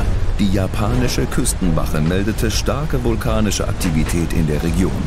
Heißer Dampf und Gase traten aus dem Wasser aus und stiegen bis zu einer Höhe von 15 Kilometern in die Luft, was etwa der doppelten Höhe des Mount Everests entspricht. Ein riesiger Vulkan erwachte und begann sich langsam an die Oberfläche zu heben. Wenn du einen Hubschrauberausflug über diesen Ort machen würdest, könntest du sehen, wie immer mehr Land aus dem Wasser auftaucht. Aber es ist nicht nur der Vulkan, der auftaucht, sondern eine ganze Insel in Form eines Hufeisens. Und das ist erst der Anfang. Seismologenteams haben festgestellt, dass diese Insel die Spitze eines riesigen Vulkans ist. Er füllt den Himmel mit Rauch und Asche. Die Lufttemperatur steigt an. Wissenschaftliche Teams beobachten dieses Ereignis weiter. Sie glauben, dass der Vulkan komplett ausbrechen könnte. Niemand weiß, welche Folgen das haben würde. Übrigens ist das nicht die erste Insel, die in den Gewässern Japans aufgetaucht ist. Unterwasservulkane sind im letzten Jahrhundert schon mehrmals ausgebrochen. Einer der überraschendsten Fälle ereignete sich im Jahr 2013. In diesem Jahr bildete sich ein kleines Stück Land neben der bereits bestehenden Insel. Der Unterwasservulkan, der aus dem Wasser auftauchte, begann langsam zu wachsen. Irgendwann verband er sich mit der Insel. Nach zwei Jahren vergrößerte sich die Fläche der Insel um das Zwölffache. Dort steigt ständig Rauch auf und die Oberfläche ist mit glühenden Lavaströmen bedeckt. Der Vulkan ist instabil, was bedeutet, dass er nicht zur Ruhe kommt. Solche Phänomene treten nicht nur vor der Küste Japans auf. In den 1960er Jahren erwachte an der Südküste von Island ein Vulkan. Drei Jahre lang schob er sich in die Oberfläche und so entstand 1967 eine neue Insel. Man nennt sie Seezi. Anders als bei den japanischen Inseln endeten hier die Vulkanausbrüche, aber die Insel gehört heute trotzdem zu den unzugänglichsten Orten auf der Erde. Nur wenige wissenschaftliche Teams haben die Erlaubnis, diesen Ort zu betreten. Forschende wollen herausfinden, wie das pflanzliche und tierische Leben auf dieser Insel ohne menschliches Zutun entstanden ist. Es ist ein einzigartiges Ereignis und das ist der Grund dafür. Unterwasservulkane unterscheiden sich in ihrem Verhalten von Landvulkanen. Sie explodieren nicht und setzen keine Lavaströme nach oben frei. Die große Menge Wasser über ihnen erzeugt einen hohen Druck. Sobald das Magma austritt, wird es vom Wasser auf den Meeresboden gedrückt. Unterwassereruptionen verursachen normalerweise keine Veränderungen an der Meeresoberfläche. So sinken Millionen Liter Lava auf den Grund, kühlen ab und verfestigen sich rund um den Vulkan. Diese Lava bildet eine dicke Schicht aus Erdgestein. Um eine Insel an der Oberfläche entstehen zu lassen, braucht ein Unterwasservulkan also eine Menge Magma. Bei der nächsten Eruption entsteht eine weitere dicke Schicht. Millionen von Jahren vergehen und passive Lavaströme bilden Berge. Ständige Eruptionen heben den Meeresboden an. Schicht für Schicht steigt die abgekühlte Lava höher und höher. Und dann, eines Tages, erscheint sie in Form einer Insel an der Oberfläche. Aber oft erreichen Unterwasservulkane die Oberfläche nicht, bevor sie für immer einschlafen. Solche Vulkane werden Seamounts genannt. Auch die tektonische Aktivität beeinflusst die Entstehung von Inseln. Der Vulkan hat eine Magmaquelle, die sich aus dem Mantel der Erde speist. Die tektonische Platte, auf der sich der Vulkan befindet, bewegt sich und so kann die Platte den Vulkan auch von der Magmaquelle wegführen. Wenn ein Vulkan also aufsteigt, kann er durch eine seitliche Bewegung der Platte wieder versiegen. Von außen sehen die vulkanischen Inseln wie eine Apokalypse aus. Lava spritzt in verschiedene Richtungen, Rauch und Asche füllen den Himmel. Aber in Wirklichkeit geht es bei Vulkanen nicht um Zerstörung, sondern um die Erschaffung von neuem Leben. Lava ist das, was du auf der Oberfläche siehst, aber bevor sie aus dem Vulkan fließt, wird sie Magma genannt. Wenn sie an der Erdoberfläche auftaucht, verdampfen sofort verschiedene Gase und Säuren und Magma wird zu Lava. Aber unter der Erde ist es Magma. Es sind geschmolzene Metalle mit Spurenelementen von fast allen chemischen Substanzen, die in der Natur vorkommen. Sie bereichert das Land, in dem sie fließt. Auch die Asche ist mit verschiedenen Elementen gefüllt. Die Lava härtet aus, die Asche setzt sich ab und das schafft günstige Bedingungen für das Entstehen eines reichhaltigen Ökosystems. Aber es dauert Millionen von Jahren, bis es sich entwickelt. Erst entstehen die einfachsten Bakterien. Sie ernähren sich von den chemischen Elementen, die aus dem Vulkan stammen. Wenn du günstige Bedingungen für Bakterien hast, hast du auch günstige Bedingungen für größere Lebensformen. Vögel, die vorbeifliegen, helfen auch dabei, das neue Ökosystem zu entwickeln. Sie bauen Nester auf der Insel, haben Baumsamen und Pflanzensporen von den Kontinenten und anderen Inseln im Gefieder und all das bereichert das Leben auf dem Vulkan. Vulkane sind isolierte Orte, sodass nur dort einzigartige Tier-, Insekten- und Bakterienarten vorkommen, die nirgendwo sonst auf der Welt zu finden sind. Wenn der Vulkan aber wieder erwacht, zerstört er das Ökosystem. Die gesamte Insel wird dann mit Asche bedeckt und verliert ihre gesamte Vegetation. Aber dann entsteht auf dem verbrannten Boden wieder neues Leben. Hunderte von Inseln auf der ganzen Welt sind durch Ausbrüche von Unterwasservulkanen entstanden, wie Hawaii, Indonesien und Island. Stell dir vor, dass sich Menschen auf einer ähnlichen Vulkaninsel niederlassen und dort eine Stadt bauen und eines Tages wacht der Vulkan auf. Das ist einmal 320 Kilometer südlich von Tokio passiert. Auf der Insel Aogoshima bauten die Menschen eine wunderschöne Stadt direkt im Krater eines aktiven Vulkans. Im Mai 1785 begann dann die Katastrophe. Es war ein sonniger Tag und niemand hätte sich vorstellen können, welche Tragödie auf sie zukam. Irgendwann erhoben sich Tausende von Vögeln in die Luft und flogen von der Insel weg. Dann begann der Boden zu beben. Ein schweres, tiefes Brummen kam aus den Tiefen der Stadt und Rauchschwaden stiegen aus dem Krater des grünen Vulkans auf. Der Vulkan schleuderte Erde, Steine und Felstrümmer in den Himmel. Die Katastrophe zog sich über mehrere Wochen hin. Seitdem sind mehr als 200 Jahre vergangen und der Vulkan ist nie wieder erwacht. Nach der Katastrophe wurde die Stadt wieder aufgebaut. Heute ist dieser Ort so schön, dass die Menschen ihn trotz der Gefahr eines neuen Ausbruchs nicht verlassen wollen. Es ziehen sogar immer mehr Menschen auf die Insel. Es gibt viele Thermalquellen und die Gewässer rund um die Insel sind reich an Fischen. Aber der Vulkan könnte jeden Moment aufwachen. Doch deswegen wird er sorgfältig meteorologisch und seismologisch überwacht. Im Inneren eines Vulkans kann sich auch ein See bilden, in dem du aber nicht schwimmen solltest. In Indonesien, auf der Insel Java, gibt es einen Vulkan mit einem Krater im Inneren, der mit türkisfarbenem Wasser gefüllt ist. Das Magma im Inneren des Vulkans besteht aus geschmolzenen Metallen und chemischen Verbindungen und der See enthält diese Stoffe. Der Vulkan stößt Schwefeldioxidgase aus, die sich mit dem metallischen See verbinden. Dadurch erhält das Wasser seinen hohen Säuregehalt und seine türkisene Farbe. Der Dampf, der aus dem See steigt, ist sauer und wenn er sich mit der Luft verbindet, entzündet er sich. Das kann man nachts sehr gut beobachten. Die Schwefelansammlungen flammen auf und beleuchten die Umgebung. Wenn man an Norwegen denkt, kommen einem Dinge in den Sinn wie die Sonne, die im Sommer niemals untergeht. Atemberaubende Natur, die Tatsache, dass es eines der glücklichsten Länder der Welt ist. Sogar weiße Bären, die frei in der Wildnis umherstreifen. Ich vermute, Sie sind auch glücklich. Planst du schon deine Reise in dieses Traumland? Nun, keine Eile. Du wirst dein Budget überprüfen müssen. Treibstoff ist dort 10 bis 15 Prozent teurer als in anderen westeuropäischen Ländern. Eine Mahlzeit in einem Café für eine Person kostet mindestens 30 Dollar. Und du kannst dich glücklich schätzen, wenn du ein Hotel für 100 Dollar pro Nacht findest. Wenn Sie das teuerste Land der Welt googeln, sehen Sie diese Liste. Die Schweiz, die memehaft teuer ist, die Vereinigten Staaten, klar, kennt man, Luxemburg ist auch keine Überraschung. Und dann, plötzlich, sieht man Norwegen. Nur damit Sie es wissen. Eine vierköpfige Familie bräuchte über 4000 Euro im Monat, um in Norwegen nur zu existieren. Und das beinhaltet nicht einmal die Miete. Fachleute sagen, dass Norwegen etwa 7% teurer ist als die USA. Norwegen ist jedoch etwas seltsam. Normalerweise haben die reichsten Länder nationale Währungen, die stärker sind als der US-Dollar. Nehmen wir zum Beispiel Schweizer Franken oder den kuwaitischen Dinar, der buchstäblich der Boss ist, wenn es um Währungen geht. Ein Kuwaiti-Dinar bringt dir zum Beispiel 3,25 US-Dollar ein. Hier kommt nun die Diskrepanz. Die norwegische Krone wird als die schwächste Währung im Westen bezeichnet. Wie kommt das?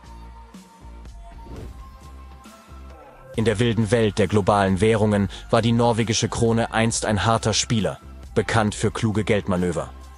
Aber überraschenderweise ist sie jetzt die schwächste Währung im Westen und hat in den letzten zehn Jahren einen großen Schlag erlitten. Sie ist stark gegenüber dem US-Dollar und dem Euro gefallen, was Zentralbanken und Finanzexperten weltweit beunruhigt. Die Achterbahnfahrt der Ölpreise ist ein wichtiger Faktor für den Kampf der Krone, da Norwegen stark auf Ölexporte angewiesen ist. Aber selbst bei relativ hohen Ölpreisen bleibt sie historisch schwach gegenüber den wichtigsten Währungen. Die schwache norwegische Krone betrifft auch die alltäglichen Leute, da die Preise aufgrund schwerer Importe bei fast allem steigen. Die Inflation wächst, was zu Zinserhöhungen durch die Norges Bank führt. Hohe Zinsen belasten den Wohnungsmarkt und machen das Leben für die norwegischen Bürger teurer. Daher könnte einer der vermeintlichen Gründe, warum Norwegen so teuer ist, die schwache nationale Währung sein. Was ist sonst noch besonders an Norwegen? Das Klima, ganz sicher. Es ist schwer vorstellbar, dass ein eiskaltes Land in Reichtum stürzt. Das ist ein Bild, das wir normalerweise in den sozialen Medien mit Geotags wie Dubai, Saudi-Arabien oder sogar Kuwait sehen. Und es ergibt Sinn zu denken, dass all der Reichtum irgendwo im Süden liegt. da diese Orte starke ölbasierte Volkswirtschaften und superstarke Währungen haben. Aber in Wirklichkeit sind bessere Wirtschaften im Süden ein aktueller Trend. Haben Sie sich jemals gefragt, warum kalte Länder anscheinend das Geld scheffeln, während die heißen Nationen nur herumhängen? Es stellt sich heraus, dass diejenigen, die in kalten Klimazonen leben, sich abmühen mussten, um den Winter zu überleben. Denken Sie an den Bau von Unterkünften, das Anlegen von Lebensmittelvorräten und das Feuer am Brennen zu halten. Währenddessen hatten es diejenigen, die im Sonnenschein badeten, etwas leichter mit dem Jagen und Sammeln das ganze Jahr über. Diese Theorie gilt sogar im Land der Kängurus. Sydney und Melbourne, die Spitzenreiter im Reichtumsspiel Australiens, gehören auch zu den kältesten Städten, während Darwin, die wärmste Stadt, hinterherhinkt. Einige könnten argumentieren, dass diese Theorie nicht standhält, wenn wir uns antike Zivilisationen oder moderne Hotspots wie das tropische Singapur ansehen. Aber hey, die Zeiten ändern sich. Und das gilt auch für die Wohlstandsgeneration. Früher ging es hauptsächlich um Landwirtschaft, aber heute sind Industrie und Innovation wichtiger. Also könnte es scheinen, als ob Norwegen historisch und geografisch dazu bestimmt war, reich zu werden. Trotzdem war das nicht genauso. Norwegen hatte früher viele Schwierigkeiten. Damals hatten sie es schwer mit harten Wintern und einer schwierigen Geografie. Es gab sogar Hungersnöte, die Familien dazu zwangen, ein besseres Leben in den USA zu suchen. Wie hat Norwegen also den Sprung vom Tellerwäscher zum Millionär geschafft? Ja, Öl und Gas haben eine große Rolle gespielt. Das Land ist klein, aber es besitzt etwa 0,31 Prozent der weltweiten Ölreserven. Doch in Norwegen gibt es mehr zu erzählen als nur über das schwarze Gold. Zum Beispiel befindet sich die größte Ölreserve nicht in einem arabischen Land, sondern in Venezuela, das bis zu 20 Prozent des flüssigen Goldes der Welt beansprucht. Trotzdem ist Venezuelas Wirtschaft alles andere als stabil. Es dreht sich also nicht alles nur um Öl. Obwohl Norwegen in der Waldgröße von anderen europäischen Nationen übertroffen wurde, war es während des Zeitalters der Segelschifffahrt eine unübertroffene Macht im Holzhandel. Dank seines strategischen Fjordwegs konnte Holz aus den Binnenwäldern schnell die fjordseitigen Mühlen und globalen Märkte erreichen.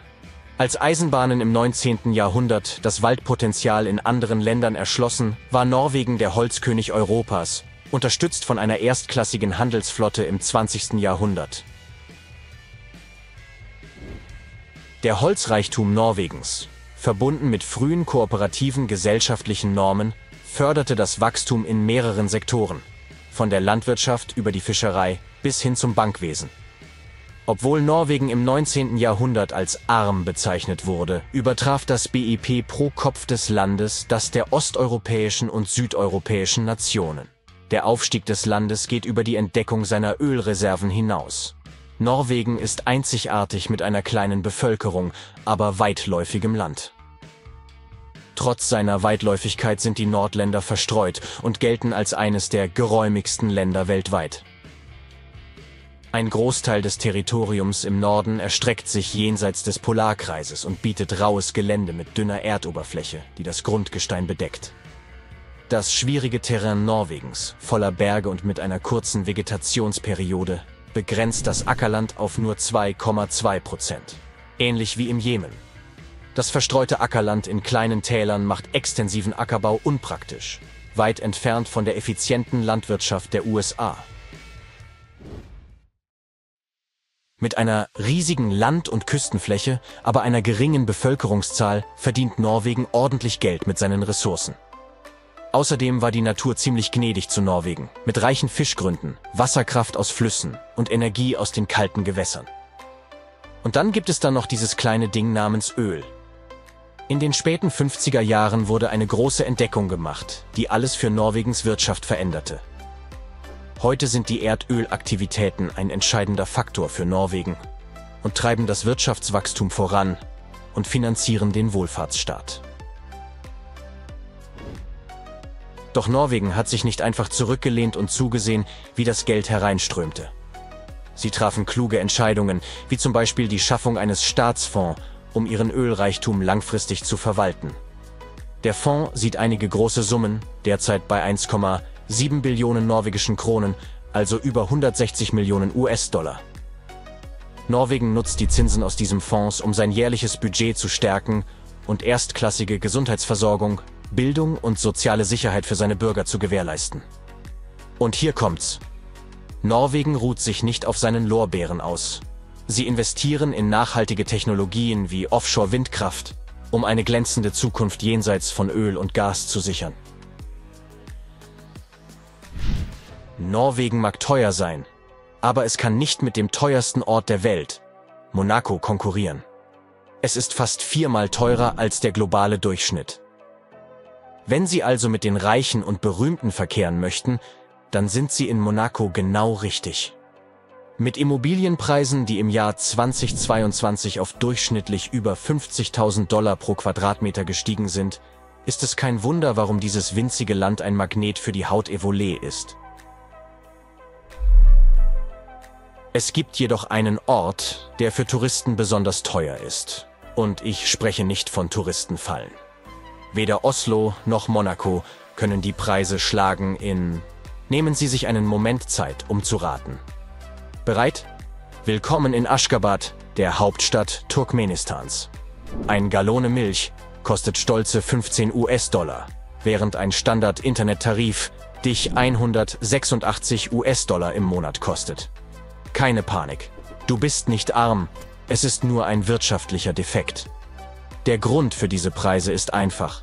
Der Wechselkurs der turkmenischen Landeswährung in Relation zum Dollar ist festgelegt und ändert sich nie. Ein Dollar entspricht dreieinhalb Manat und das ist seit 2015 so.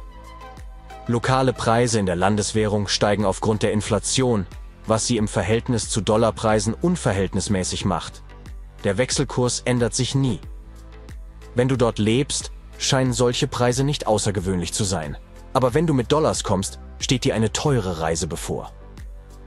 Möchten Sie, dass ein professioneller Stylist Ihr Gepäck faltet, ein privater Koch nur für Sie Mahlzeiten zubereitet und ein ganzes Flugzeug Ihren Fernseher transportiert, der nicht in Ihr Privatjet passte? Das ist im Grunde die alltägliche Reiserealität für die oberen 0,1% der US-Verdiener, die im Jahr 2022 rund 3 Millionen Dollar pro Jahr verdienten. Vergleichen Sie das mit dem regulären Gehalt eines arbeitenden Amerikaners von etwa 60.000 Dollar. Und dann gibt es noch das obere 1%, das im selben Jahr rund 800.000 Dollar verdiente. Wenn Sie reisen möchten wie die reichsten Menschen der Welt, vergessen Sie, zwei Wochen in einem Luxushotel mit goldhaltigem Shampoo zu entspannen. Der neueste Trend beim Luxustourismus heißt Surf and Turf. Reiche Gäste verbringen nach einem Aufenthalt im Luxushotel eine Woche auf einer schnittigen Yacht oder umgekehrt. Die Bootverkäufe sind in den letzten Jahren gestiegen und die Reichen lieben es, Segelboote für 25.000 Dollar pro Woche bis zu 90.000 Dollar zu chartern. Es ist eine großartige Möglichkeit, dem gewöhnlichen Volk zu entfliehen. Alles wird von ihren Reisebüros im Voraus geplant, sodass sie sich um nichts kümmern müssen. Die Ultrareichen entscheiden sich auch oft für private Inseln oder kaufen gleich ganze Hotels auf. Zum Beispiel kostet eine Villa auf einer privaten Insel vor der Küste von Cannes in Frankreich rund 290.000 Dollar pro Woche. Sie ist sehr gefragt. Ein angemessener Preis für das Fehlen von Nachbarn oder Verkehr. Und wenn Sie irgendwann den Trubel vermissen, können Sie jederzeit mit einem Schnellboot zu einem der luxuriösen Strandclubs fahren und die Nacht durchtanzen. Im Jahr 2023 wurde Griechenland zum beliebtesten Reiseziel für das reichste 1% der Reisenden. Die Insel Paros war der am häufigsten genannte neue Favorit. Das italienische Sizilien hat seinen Charme für sie verloren, weil es von den Fans von The White Lotus überlaufen ist. Und es geht nicht nur um das von Four Seasons betriebene San Domenico Palace, wo die Show stattfand, sondern um die gesamte Insel. Für winterlichen Spaß gibt es immer Aspen- und Skistädte im europäischen Wunderland, wie die Schweiz und Frankreich. Sie haben exklusive Hotels, Michelin-Sterne-Restaurants, gehobene Geschäfte und Chalets, die reicher und luxuriöser aussehen als ein durchschnittliches Familienhaus. Wenn es keinen natürlichen Schnee gibt, löst das Kunstschneesystem dieses Problem. Einige der besten Hotels haben direkten Zugang zu Liften, die die Gäste zu den Hauptskipisten bringen. Für diejenigen, die keine Fans der europäischen Resorts sind, gibt es immer die Seychellen, wo man eine Villa für etwa 11.000 Dollar pro Nacht in einem privaten Inselresort mieten kann. George und Amal Clooney kommen gerne hierher. Wer das nicht cool oder exklusiv genug findet, fliegt mit einem Privatjet von Kapstadt in die Antarktis. Die Reise, die weniger als 24 Stunden dauert, kostet 195.000 Dollar. Richard Branson bevorzugt es, seine Urlaube auf der privaten Insel Necker Island zu verbringen. Sie gehört zu den britischen Jungferninseln und bietet wunderschöne Tierwelt, die es zu erkunden gilt. Gäste mieten den gesamten Ort für 80.000 Dollar pro Nacht. Es gibt genug Platz für 34 Personen, aber nicht alle Milliardäre teilen gerne, wissen Sie. Menschen, die zu den Reichsten der Welt gehören, nehmen gerne an Veranstaltungen teil, bei denen sie Gleichgesinnte treffen können. Veranstaltungen wie das Weltwirtschaftsforum in Davos, bei dem ein einfaches Steak 150 Dollar kostet und ein Getränk 40. Dann gibt es noch Pferderennen, die Yachtshows in Miami oder Singapur sowie die Dubai International Boat Show. Für Filmliebhaber oder diejenigen, die gerne ihre prachtvollen Kleider zur Schau stellen, könnten das Sundance Film Festival in Utah, das Cannes Film Festival in Frankreich oder das Internationale Filmfestival von Venedig in Italien gute Optionen sein. Sportbegeisterte Reisen zu Veranstaltungen wie dem US Open Golfturnier und anderen Golfcups, dem Wimbledon Tennisturnier im Vereinigten Königreich, dem Melbourne Cup in Australien oder dem Monaco Grand Prix für diejenigen, die Geschwindigkeit und teure Autos lieben. Wer ohne Stil nicht leben kann und gerne Trendsetter ist, darf die Modewochen in New York, London, Mailand und Paris nicht verpassen. Für Musik und Liebhaber luxuriöser Gebäude gibt es immer Opernbälle, wie den in Wien, Österreich oder die Eröffnungsnacht der Mailänder Scala in Italien. Und dann gibt es natürlich besondere Anlässe wie Geburtstage. Als Kylie Jenner 22 wurde, mietete die Milliardärin eine Superjacht für über eine Million Dollar pro Woche. Eine durchschnittliche Person müsste jahrelang sparen, um dieses Schiff auch nur für einen Tag zu mieten. Alles klar. Sie müssen also einen Weg finden, um zu Ihrem luxuriösen Punkt B zu gelangen. Richtig? Immer mehr Menschen entscheiden sich für Privatjets. Man kann zu jeder Zeit fliegen, selbst während es Einschränkungen für den kommerziellen Flugverkehr gibt und in jeden Ort. Und man muss nicht zwischen Hühnchen oder Pasta wählen, wenn die Flugbegleiterin endlich den Sitz 35D erreicht. Weltweit gibt es etwa 22.000 Geschäftsflugzeuge und die Zahl steigt kontinuierlich. Die meisten dieser Jets befinden sich in den USA und Brasilien nimmt den zweiten Platz ein. Deutschland ist der führende Markt in Europa und belegt weltweit nur den fünften Platz. Falls Sie aus irgendeinem Grund nicht mit einem Privatjet zu Ihrem Ziel reisen und sich entscheiden, die erste Klasse mit anderen Passagieren zu teilen, müssen Sie zumindest Ihr Gepäck verschicken, anstatt es mit ins Flugzeug zu nehmen. Das Gepäck der Reichen wird von ihrer Haustür abgeholt und erwartet sie auf der anderen Seite der Reise in der luxuriösen Suite oder auf der Yacht. Und wenn Sie es an einem Tag erledigt haben wollen, müssen Sie für einen Koffer mehrere hundert Dollar zahlen. Übrigens erwarten Sie wirklich, dass Sie Ihre Koffer ganz alleine packen. Es ist viel einfacher, jemanden für Tausende von Dollar zu engagieren, der sich um alles kümmert. Ein professioneller Stylist wählt alle Kleidungsstücke aus, die auf Fotos perfekt aussehen, rollt sie dann zusammen, steckt sie in Koffer und erstellt Listen darüber, was drin ist und was zu was passt. Natürlich sind die Kleider nicht in das Honorar des Stylisten eingerechnet, somit kommen noch einmal 1000 oder 10.000 Dollar zur Urlaubsgesamtsumme hinzu. Obwohl sich ultrareiche Reisende leisten können, während ihrer Reisen beliebige Autos zu mieten, mögen es nicht alle von ihnen, in einem Fahrzeug zu sitzen, das jemand anderem gehört. Deshalb entscheiden sie sich dafür, ihre eigenen luxuriösen Autos zu ihrem Zielort zu verschiffen. Es kostet etwa 36.000 Dollar, einen Porsche von Dubai nach London mit Emirates zu fliegen. Das ist genug Geld, um in Großbritannien einen nagelneuen Familienwagen zu kaufen, aber die meisten Milliardäre mögen diese Art von Fahrzeug nicht. Einige wohlhabende Reisende vertrauen nicht auf kommerzielle Fluggesellschaften und ziehen es vor, ein Frachtflugzeug zu chartern, um ihre Fahrzeuge zu transportieren. Manchmal nehmen sie eine ganze Menge Autos, Motorräder und andere teure Spielzeuge. Bedeckte Lastwagen im Zielort transportieren diese Pracht an die Adresse des Kunden oder in eine Garage seiner Wahl. Besitzer mögen es nicht, wenn fremde Lieferfahrer Kilometer zu ihren glänzenden Fahrzeugen hinzufügen. Dieser ganze Lieferservice kostet mehrere Millionen. Einige Autos haben nur einen sentimentalen Wert für ihre Besitzer und sind weit weniger wert als ihre luxuriöse Lieferung. Ein wirklich wohlhabender Mann mietete sogar ein Frachtflugzeug für seinen Samsung-Fernseher, der nicht durch die Tür seines Jets passte. Ach, die Probleme der Reichen. Sie können es sich leisten, in jedem Restaurant der Welt zu essen, aber das wäre ihnen zu gewöhnlich. Daher ziehen sie es vor, ihre privaten Köche mit in den Urlaub zu nehmen. Diese professionellen Köche kennen die Diäten und Gesundheitsziele ihrer Kunden. Für Luxusreisende sind Beständigkeit und Routine zu wichtig, als dass sie diese gegen öffentliche Restaurants eintauschen würden. Für die Köche ist es oft eine Gelegenheit, kostenlos zu reisen und gleichzeitig ein gutes Gehalt zu bekommen. Manchmal fliegen die Kunden sogar die Familie des Kochs mit, wenn die Reisen während der Feiertage stattfinden.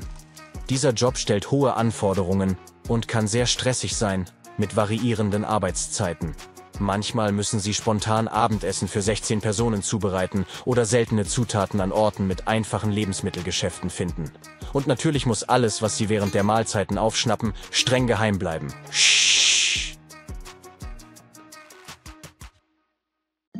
In der Mongolei lebten einst Dinosaurier und heute gibt es dort genauso viele Pferde wie Menschen und zehnmal so viele Schafe. Es ist das leerste Land der Welt.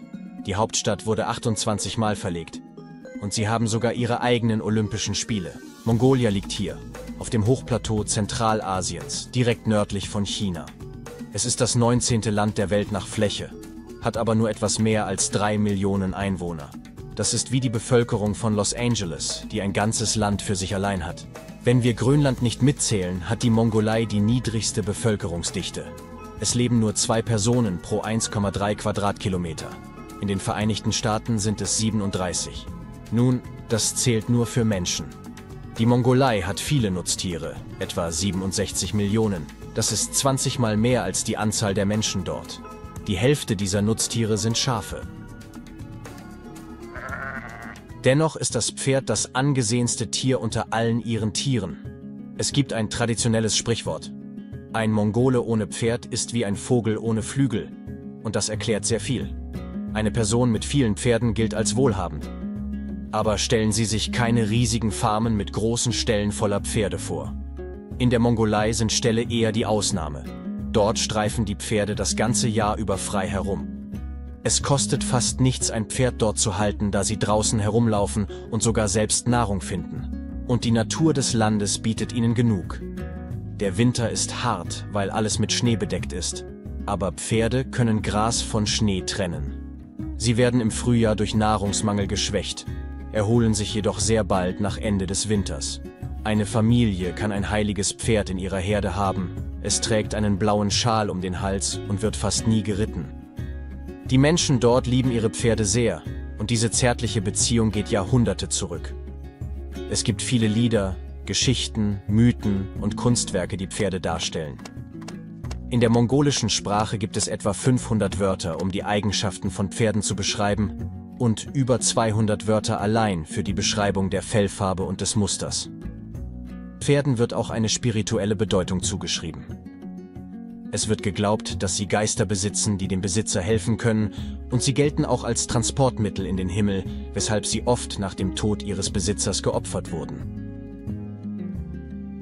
Neben Haustieren beherbergt das Land auch einige gefährdete Arten. Außerdem streiften einst Dinosaurier durch diese Gegend. Das allererste entdeckte Dinosaurierei wurde genau dort gefunden. Heute sind die Dinosaurier natürlich ausgestorben. Aber in der Mongolei gibt es Schneeleoparden. Und die sind ebenfalls selten. Wenn Sie jemals in dieses Land reisen, müssen Sie vorsichtig sein. Schneeleoparden sind so leise, dass Sie sie nicht herankommen hören. Sie machen beim Gehen überhaupt kein Geräusch. Aber kommen wir zurück zur Geografie. Das Klima in der Mongolei kann hart und unberechenbar sein. An nur einem Tag kann sich die Temperatur um 1,6 Grad Celsius ändern. Das Land hat keinen Zugang zu großen Gewässern. Deshalb ist es sehr trocken und es gibt wenig Regen. Im Süden der Mongolei liegt ein Teil einer der kältesten Wüsten der Erde, der Gobi-Wüste. Nur 5% der Wüste sind mit Sand bedeckt, der Rest besteht aus kahlem Fels.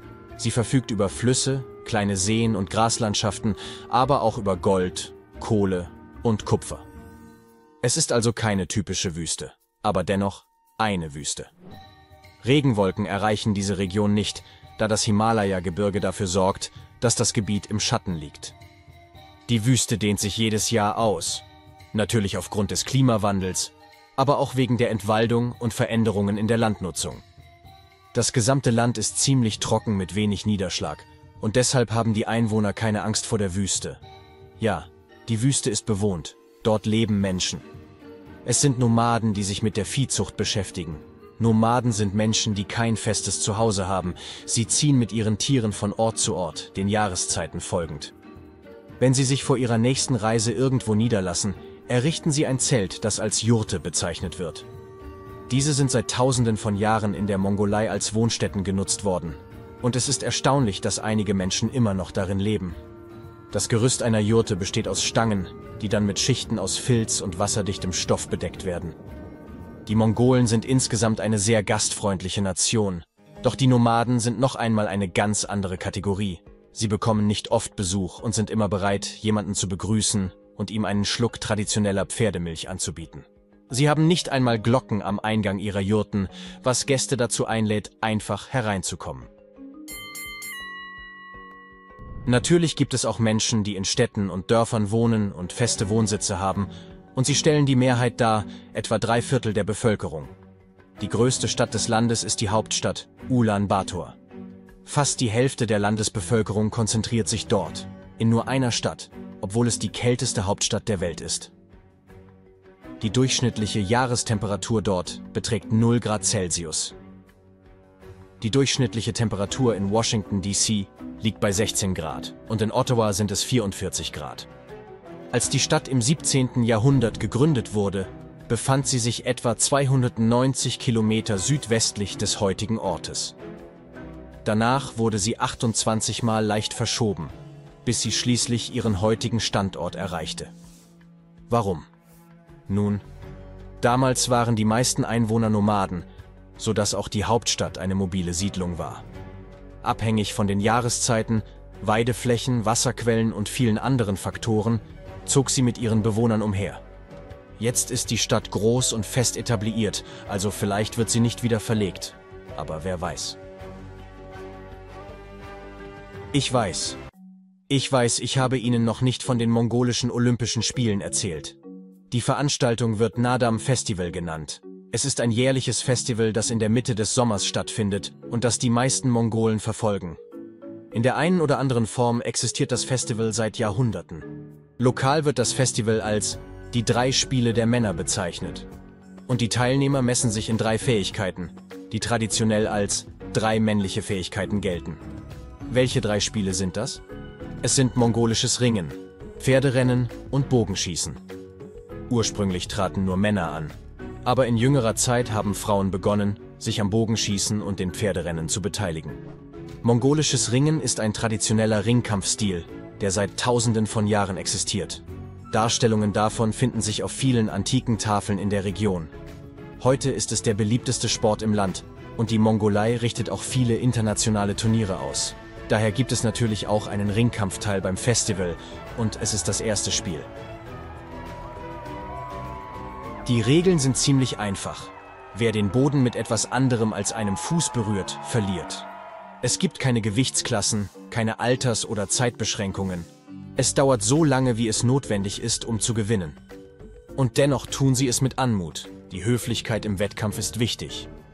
Zum Beispiel, wenn sich die Kleidung des Gegners verfängt, soll der andere innehalten und helfen, das Problem zu lösen, selbst wenn das bedeutet, eine gute Gelegenheit zum Gewinnen zu verpassen. Am Ende des Spiels, wenn ein Teilnehmer besiegt ist, wird der Gewinner ihm die Hand reichen und ihm helfen, wieder auf die Beine zu kommen. Das Spiel beginnt mit entweder 512 oder 1024 Teilnehmern, die paarweise ringen. Jeder Verlierer wird eliminiert. Das Spiel dauert neun oder zehn Runden, abhängig von der anfänglichen Anzahl der Teilnehmer, bis ein Gewinner feststeht. Dann gibt es Pferderennen. Dies ist ein Geländeritt über lange Distanzen, zwischen 16 und 27 Kilometern, abhängig vom Alter des Pferdes. Bis zu 1000 Pferde aus ganz Mongolei können an dem Wettbewerb teilnehmen. Im Bogenschießen treten Menschen in Teams aus 10 Personen an. Jeder Bogenschütze trägt traditionelle Kleidung und hat vier Pfeile zur Verfügung, um auf eine Wand aus gewebten oder hölzernen Zylindern zu schießen. Wer einen Zylinder aus der Wand schießt, erhält Punkte. Das Team mit den meisten Punkten gewinnt.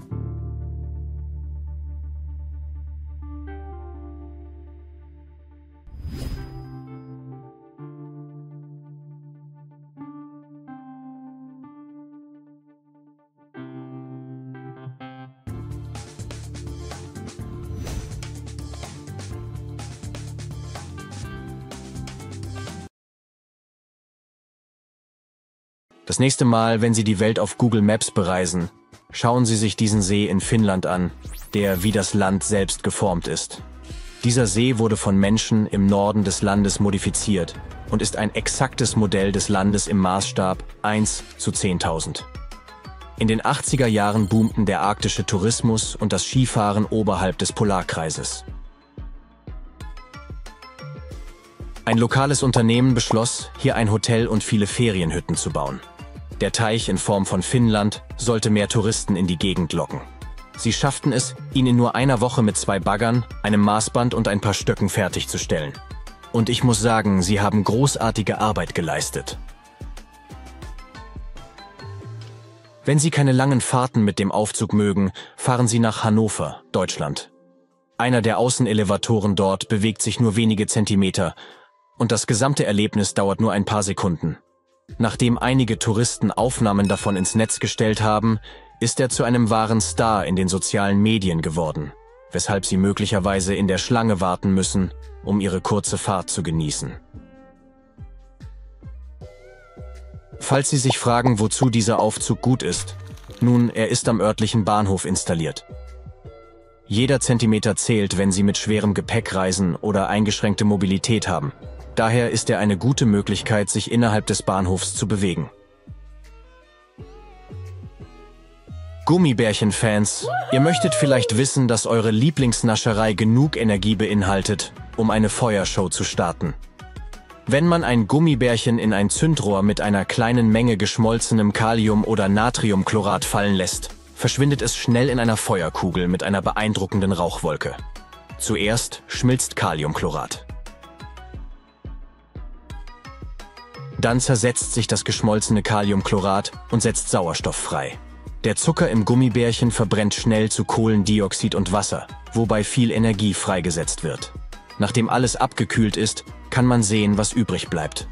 Das schwarze Material ist unverbrannter Kohlenstoff, der weiße Feststoff ist Kaliumchlorid und das karamellfarbene Material ist teilweise verbrannter Zucker.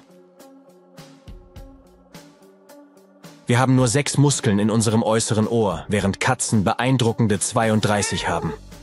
Deshalb können sie ihre Ohren um 180 Grad drehen und diese nutzen, um ihre aktuelle Stimmung zu zeigen. Wenn die Ohren aufrecht und nach vorne gerichtet sind, hast du eine glückliche Katze. Wenn die Ohren zur Seite gedreht sind, ähnlich wie Flugzeugflügel, oder nach hinten abgewinkelt, ist deine Katze wahrscheinlich sehr gestresst oder hat vor etwas Angst. Niedrig gehaltene oder zur Seite gedrehte Ohren könnten ein Zeichen dafür sein, dass die Katze krank ist, also pass gut darauf auf. Ein streunender Hund in Brasilien bekam einen Job als professioneller Autoberater in einem lokalen Hyundai-Autohaus. Der Geschäftsführer bemerkte einen streunenden Welpen neben dem Autohaus und begann, seinem neuen Freund Futter und Wasser zu geben. Andere Mitarbeiter verliebten sich ebenfalls in den Welpen und beschlossen schließlich, ihn zu adoptieren. Der Hund bekam ein Zuhause, einen Job und den Namen Tassen, benannt nach Hyundais beliebtem Kompakt-SUV. Tuxens Aufgaben umfassen das Tragen einer Krawatte, das sich hinter das Steuer setzen und das Erobern der Herzen der Kunden. Auf den Social-Media-Seiten des Unternehmens kann man sehen, dass er in all diesen Aufgaben herausragt. In Mexiko würzen sie Mango und Zitrusfrüchte gerne mit Salz und Chilipulver. In den Philippinen kann man Mango mit Garnelengeschmack probieren und im Süden der USA gesalzte Wassermelone. Wenn man eine süße Frucht isst, die mit Salz bestreut ist, bemerkt man beim ersten Bissen den salzigen Geschmack und der süße, fruchtige Geschmack folgt etwas später. Und wenn du es probierst, fühlt es sich genauso saftig und fantastisch an wie immer. Wahrscheinlich liegt es daran, dass Salz den süßen Geschmackssinn für Zucker beeinflusst und dann die eigentliche Magie auf molekularer Ebene passiert. Du kannst Salz auf jedes Obst geben, das du magst aber der Effekt wird unterschiedlich sein. Salz kann süßeren Früchten wie Kirschen und Erdbeeren noch mehr Süße verleihen und den Geschmack von Grapefruit, Ananas und Wassermelone ausgleichen. Im Jahr 1956, lange bevor es die ersten Dating-Apps gab oder Apps im Allgemeinen, beschloss ein schwedischer Seemann namens Ake Viking, das Meer um Hilfe bei der Suche nach einer Seelenverwandten zu bitten. Er steckte eine kurze Botschaft an jemand Schönen und Fernen, in eine Flasche und ließ sie um die Welt reisen. Zwei Jahre später erhielt er eine Antwort von einem Mädchen namens Pauline aus Sizilien. Sie schrieb, dass sie nicht wirklich schön sei, aber sie fand es super cool, dass die Flasche eine so große Strecke zurückgelegt hatte. Deshalb entschied sie sich, dem Absender mitzuteilen, dass sie die Flasche gefunden hatte. Sie wurden Brieffreunde und nach einer Weile zog Viking nach Sizilien, um seine einzige Paulina zu heiraten. Das einzigartige Muster auf deinen Fingerspitzen bleibt dein ganzes Leben lang erhalten. Solltest du irgendwie deine Fingerabdrücke beschädigen oder eine Hautkrankheit entwickeln, die sie verändert, werden sie trotzdem innerhalb eines Monats nachwachsen. Mit zunehmendem Alter wird die Haut an deinen Fingerspitzen weniger elastisch und die Rillen werden dicker. Aber das Muster ändert sich dennoch nicht. Es wird nur schwieriger zu scannen. Wenn du jedoch als Maurer arbeitest oder mit bestimmten Chemikalien umgehen musst, könntest du einige Details deines schönen natürlichen Musters verlieren. Aber keine Sorge, sobald du diese Tätigkeiten einstellst, werden deine Fingerspitzen zurückkehren. Es sei denn, du bist vielleicht Fleischer.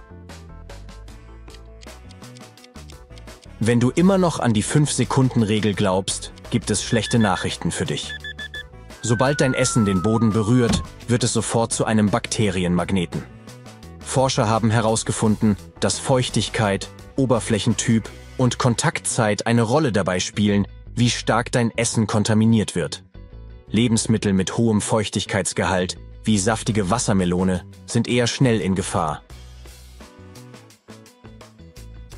In einer anderen Studie nahmen Forscher Abstriche von den Böden rund um die University of Illinois, im Labor, Flur, Wohnheim und der Cafeteria, um zu sehen, wie viele Organismen sie finden konnten.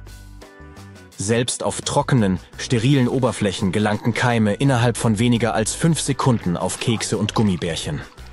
Bei einigen Lebensmitteln begann die Übertragung in weniger als einer Sekunde. Die erste Barbie-Puppe wurde im Jahr 1959 hergestellt, aber ihre Urururgroßmutter stammt aus dem antiken Rom. Archäologen entdeckten einige unglaubliche Sarkophage während Bauarbeiten in Rom im 19. Jahrhundert. Einer dieser Sarkophage enthielt eine 23 cm lange Puppe neben ihrem Besitzer. Der Kopf und der Körper waren aus einem einzigen Stück Elfenbein gefertigt. Arme und Beine waren separat und durch einen raffinierten Nagelmechanismus miteinander verbunden, sodass sie beweglich waren. Das Gesicht war so detailliert, dass es wie ein kleines Porträt aussah. Die Puppe trug sogar einen winzigen Goldring mit einem Schlüssel am Finger und hatte eine kleine Elfenbeinschatulle voller Juwelen, winziger Spiegel, Kammknochen und Überreste von Accessoires. Aber Ken war nirgends zu finden. Falls Sie auf der Suche nach einem neuen Job sind und gerne kuscheln, könnte eine Stelle für Sie frei sein. So seltsam es auch klingen mag, ein professioneller Kuscheln ist ein echter Beruf. Es gibt mehrere Unternehmen, die Kuscheldienste anbieten und nach Mitarbeitern suchen, die bereit sind, Umarmungen und Kuscheleinheiten zu geben und Menschen zuzuhören und zu unterstützen, die es wirklich brauchen. Nun, jeder kann anderen umarmen, aber um Geld damit zu verdienen, muss man im professionellen Kuscheln ausgebildet sein. Sie müssen lernen, Grenzen mit ihren zukünftigen Klienten zu setzen, ohne ihre Gefühle zu verletzen und sich mental um andere zu kümmern, ohne zu viel von ihrer eigenen Persönlichkeit preiszugeben. Der berühmte Wissenschaftler Nikola Tesla wusste bereits im Jahr 1900, dass die ganze Welt kabellos werden würde. Er erwähnte, dass Geräte, die nicht größer als eine Uhr sind, in der Lage sein würden, Signale präzise zu übertragen. Damals war es eine revolutionäre Idee, die der Wissenschaftler bei Experimenten in einem seiner Labore hatte. Tesla war so überzeugt von dem Erfolg seiner Idee, dass er sogar den berühmten Bankier JP Morgan dazu brachte, Geld in sein Projekt zu investieren. Das World Wireless System beinhaltete einen turmförmigen Pilz an den Ufern von Long Island. Es sollte Nachrichten, Telefonate und Bilder an Schiffe über den Atlantik senden. Leider wurde der Turm aufgrund finanzieller Probleme nie fertiggestellt. Nun ja, am Ende hat sich doch alles irgendwie ergeben, oder? Das ist ja seltsam. sagt Susi und schaut sich den Baum an, an dem eine gelbe Binde hängt. Sie läuft schon seit einer Stunde durch diesen seltsamen Wald im Süden Japans. Scheint, als hätte sie sich verlaufen. Sie hat diese Binde vor etwa 30 Minuten da angebracht und ist losgelaufen. Sie ist nirgends abgebogen, sondern immer geradeaus gegangen. Trotzdem ist sie eine halbe Stunde später wieder hier. Susi kann nicht weit weg von der nächsten Siedlung sein. Aber sie hat das Gefühl, dass der Wald sie in die Irre führt. Bewegen sich die Bäume, um sie an diesem Ort gefangen zu halten? Das ist wie ein Skript aus einem Horrorfilm. Als die Nacht hereinbricht, taucht ein Monster auf und stampft wütend auf den Boden. Jeder wäre in Panik geraten und hätte um Hilfe geschrien, aber nicht Susi. Sie lächelt jeder Gefahr entgegen. Außerdem hat sie ihr Telefon und Internet, also ist alles in Ordnung. Sie geht ein paar Schritte weiter und hängt eine blaue Binde an einen anderen Zedernbaum. Dann geht sie einen schmalen Pfad entlang und entfernt sich vom markierten Baum. Dabei fällt ihr auf, dass der Pfad leicht geschwungen ist. Susi geht weiter und kommt zehn Minuten später am markierten Baum an. Ist sie die ganze Zeit im Kreis gelaufen? Susi läuft zu einem anderen Baum und sieht auch hier einen gewundenen Weg. Es wird Zeit, dass sie auf Google Maps ihren Standort anhand von Satellitenfotos checkt. Es ist unglaublich. Die Bäume an diesem Ort wachsen in konzentrischen Kreisen. Es gibt verschiedene Ebenen, die ein mysteriöses kreisförmiges Muster bilden, so ähnlich wie die, die man weltweit auf Feldern sehen kann. Susi nimmt die Gegend mit ihrem Handy auf, um ihren Abonnenten zu zeigen, dass sie eine seltsame natürliche Anomalie entdeckt hat. Während sie filmt, hört sie jemanden lachen. Es ist ein Mann und er kommt auf sie zu. Er findet es lustig, was sie über diesen Wald sagt. Dann erklärt er ihr, dass es an diesem Wald nichts Mysteriöses gibt. Die Bäume wachsen im Kreis, weil Menschen sie so gepflanzt haben. 1973 wurden die Zedern absichtlich so gepflanzt und es entstanden zehn konzentrische grüne Kreise. Es war ein Experiment. Sie wollten herausfinden, ob die Bäume unter solch runden Bedingungen wachsen würden. Sie nannten es experimentelle Forstwirtschaft. Die Bäume begannen in einer konvexen Form zu wachsen und sich symmetrisch aufzufächern. Und so konnte bewiesen werden, dass die Größe der Lücken zwischen den Bäumen ihr Wachstum beeinflusst. Dann haben sie einige Bäume gefällt, weil das der Plan so vorsah. Mittlerweile ist der Ort zu einem beliebten Ausflugsziel für Touristen und Einheimische geworden. Sie lassen Drohnen steigen, um Fotos zu machen und spazieren entlang der gewundenen Wege durch dieses kleine Labyrinth. Susi ist ein bisschen enttäuscht und informiert ihre Abonnenten, dass sie nichts Geheimnisvolles entdeckt hat. Der Mann, der sie über den kreisförmigen Wald aufgeklärt hat, empfiehlt ihr, den geheimnisvollen krummen Wald in Polen zu besuchen. Er verspricht ihr, dass sie da ein seltsames Phänomen sehen wird. Aber bevor sie dorthin fährt, will sie sich noch einen anderen aufregenden Ort in Japan ansehen. Sie erreicht das Fischerdorf Aoshima.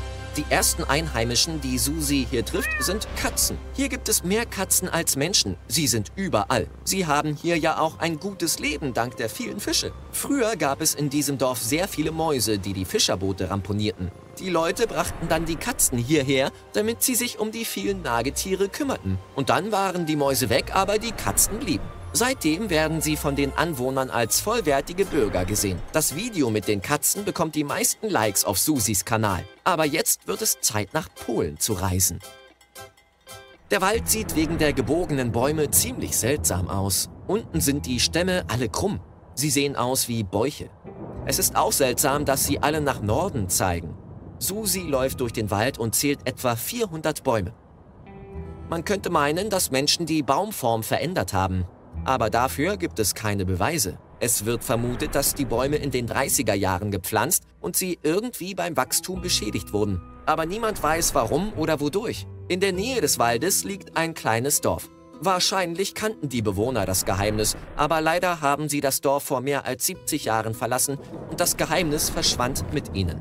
Natürlich wurden in der Wissenschaft Hypothesen aufgestellt, aber sie alle wurden schnell widerlegt. Vielleicht entstand diese krumme Form durch eine genetische Anomalie. Es gibt Bäume mit ähnlichen Stämmen in anderen Wäldern auf der Erde.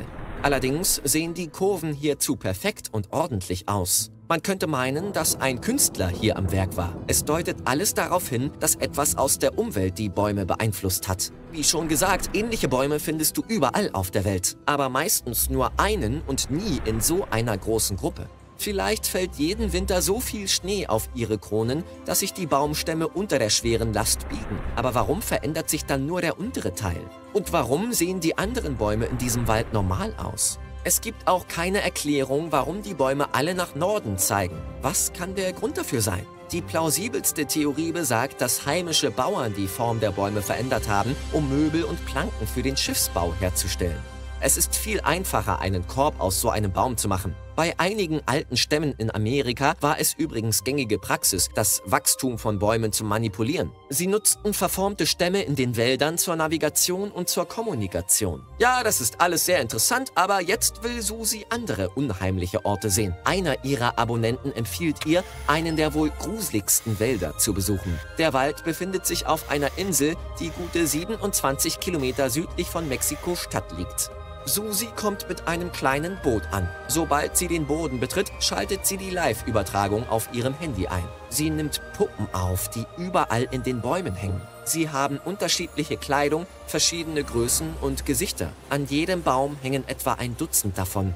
Regen und die brennende Sonne haben die Puppengesichter verformt. Sie sind auch mit Moos und anderem Grünzeug bedeckt, wodurch sie einen gespenstischen Look bekommen haben. Es gibt Gerüchte, dass sie nachts zum Leben erwachen. Willst du das checken? schreibt einer der Abonnenten. Kein Problem, antwortet Susi.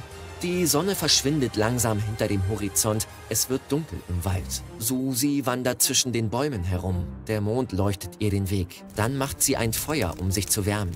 Und plötzlich hört sie ein seltsames Geräusch. Aus den Augenwinkeln bemerkt sie eine Bewegung. Ihr Telefon schaltet sich aus. Susi schaut auf und sieht, dass eine der Puppen, die vom Feuer beleuchtet wird, ihren Kopf in ihre Richtung dreht. Susi schreit und rennt weg. Natürlich hat sich die Puppe nicht bewegt. Der Übeltäter war ein kleiner Vogel, der hinter dem Kopf der Puppe sitzt. Ein paar Tage später findet Susi heraus, dass in den 50er Jahren ein Mann von Mexiko-Stadt auf die Insel gezogen war und sie mit Spielzeug dekoriert hat. Er sammelte die Puppen von Mülldeponien und fand sie rund um die Insel in den Kanälen. Er verbrachte mehrere Jahre damit, jeden Baum zu schmücken. Am Anfang fanden das Touristen seltsam, aber auch irgendwie interessant. Dann, als die Puppen zu altern und zu verrotten begannen, wurde dieser Ort für Touristen noch attraktiver. Über die Gründe für die Besessenheit des Mannes gibt es verschiedene Geschichten. Okay, Susi hat genug von diesen Geheimnissen und gruseligen Orten. Jetzt will sie etwas Majestätisches bewundern, das von der Natur geschaffen wurde. Sie ist jetzt im kalifornischen Sequoia National Park, wo die meisten Baumriesen der Welt stehen. Mit offenem Mund schaut sie hoch zum größten Baum der Welt, einem riesen Mammutbaum. Er hat auch einen Namen, und zwar General Sherman. Er ist etwa 2000 Jahre alt. Das Volumen dieses Baumes ist fast halb so groß wie das eines olympischen Schwimmbeckens. Aber er ist nicht der älteste Baum. Hier im Nationalpark stehen Mammutbäume, die schon 3000 Jahre alt sind. Und der höchste Baum der Welt wächst auch in Kalifornien. Es ist ein Redwood, der auch zur Familie der Mammutbäume gehört. Er wird Hyperion genannt und ist 115 Meter hoch. Das ist ein Drittel der Höhe des Eiffelturms. Stell dir vor, was für eine tolle Aussicht du von der Baumkrone aus hast. Jetzt ist Susi auf der Insel Madagaskar und sie bestaunt die einzigartigen Baobab-Bäume. Sie sehen aus, als hätte sie jemand aus dem Boden gerissen und kopfüber wieder in den Boden gerammt. Baobabs zählen zu den schönsten Bäumen der Welt. Die meisten von ihnen stehen hier in der Baobab-Allee. Aber sie wachsen auch in Australien und Südafrika. Ihre Baumstämme sind wie Schwämme, die sich ausdehnen, wenn sie in der Regenzeit Feuchtigkeit aufnehmen. Elefanten trinken gerne von ihnen. Dazu reißen sie sie auf, knabbern den Stamm an und stillen ihren Durst. Nachts blühen die Baobabs. Die Blüten riechen wie saure Milch und ziehen Fledermäuse an. Aber das Interessanteste ist, dass der Baobab nicht austrocknet und nicht wie andere Bäume nach Ende seines Lebens einfach umfällt. Er zerbröckelt langsam und am Ende hinterlässt er nur einen Haufen am Boden. Südkorea hat eine reiche Kultur, aber einige ihrer Museen sind weit davon entfernt, traditionell zu sein. Sie haben sogar einen Ort namens Pupu Land. Sie haben richtig gehört. Dieses Museum dreht sich rund um Kot, menschliche Gase und mehr. Es sind drei Etagen voller verrückter und farbenfroher Ausstellungen, die ihre Instagram-Follower begeistern werden. Die mutigsten können in diesem Museum aus einem falschen Toilettentopf essen aber der eigentliche Spaß beginnt, wenn es Zeit ist zu gehen. Man muss durch einen dunklen Raum rutschen, der unser Verdauungssystem nachahmt. Südkorea beherbergt das schwärzeste Gebäude, das du je gesehen hast. Der Vanta Black Hyundai Pavillon ist mit Vanta Black Farbe bedeckt, die wie das Ninja unter den Farben ist. Sie ist super schwarz und reflektiert weniger als ein Prozent des Lichts. Der Pavillon wurde für die strahlend weiße Kulisse der Olympischen Winterspiele 2018 geschaffen. Mit einer Höhe von 10 Metern und einer Länge von 35 Metern verschluckt dieses Gebäude über 99,6 Prozent des Lichts, sodass es so schwarz wie ein schwarzes Loch ist. Südkorea ist bekannt für seine großartige Kaffeekultur und die Starbucks-Filialen dort bilden da keine Ausnahme. Nehmen wir zum Beispiel Starbucks Wave Soul. Es sieht buchstäblich so aus, als würde es auf dem Wasser schweben. Dieser coole Ort befindet sich im Soul Wave Art Center, einem Ort, an dem Sie Kunstgalerien und Ausstellungen genießen können. Wenn Sie das Gefühl haben, diesen Ort schon einmal gesehen zu haben, könnte es daran liegen, dass K-Pop-Stars hier Musikvideos gedreht haben. Im Jahr 2011 errichtete Tesco, die britische Kette, virtuelle Supermärkte in U-Bahn-Stationen und Bushaltestellen in Seoul. Es ist wie Einkaufen in einem echten Geschäft, nur eben auf deinem Handy. Pendler können virtuelle Artikel scannen und kaufen, die direkt zu ihnen nach Hause geliefert werden. Stell dir vor, du betrittst eine U-Bahn-Station und siehst Wände voller Bilder von Lebensmitteln und anderen Artikeln, die du kaufen kannst. Du scannst einfach spezielle QR-Codes mit deiner HomePlus-App und zack. Deine Einkäufe sind unterwegs zu dir nach Hause. Bestell bis 1 Uhr nachmittags und du bekommst deine Sachen noch am selben Tag. Sie müssen vom Hauptstar der koreanischen Küche gehört haben. Ich spreche von Kimchi. Aber die eigentliche Frage ist, wo bleibt das Überraschungsmoment?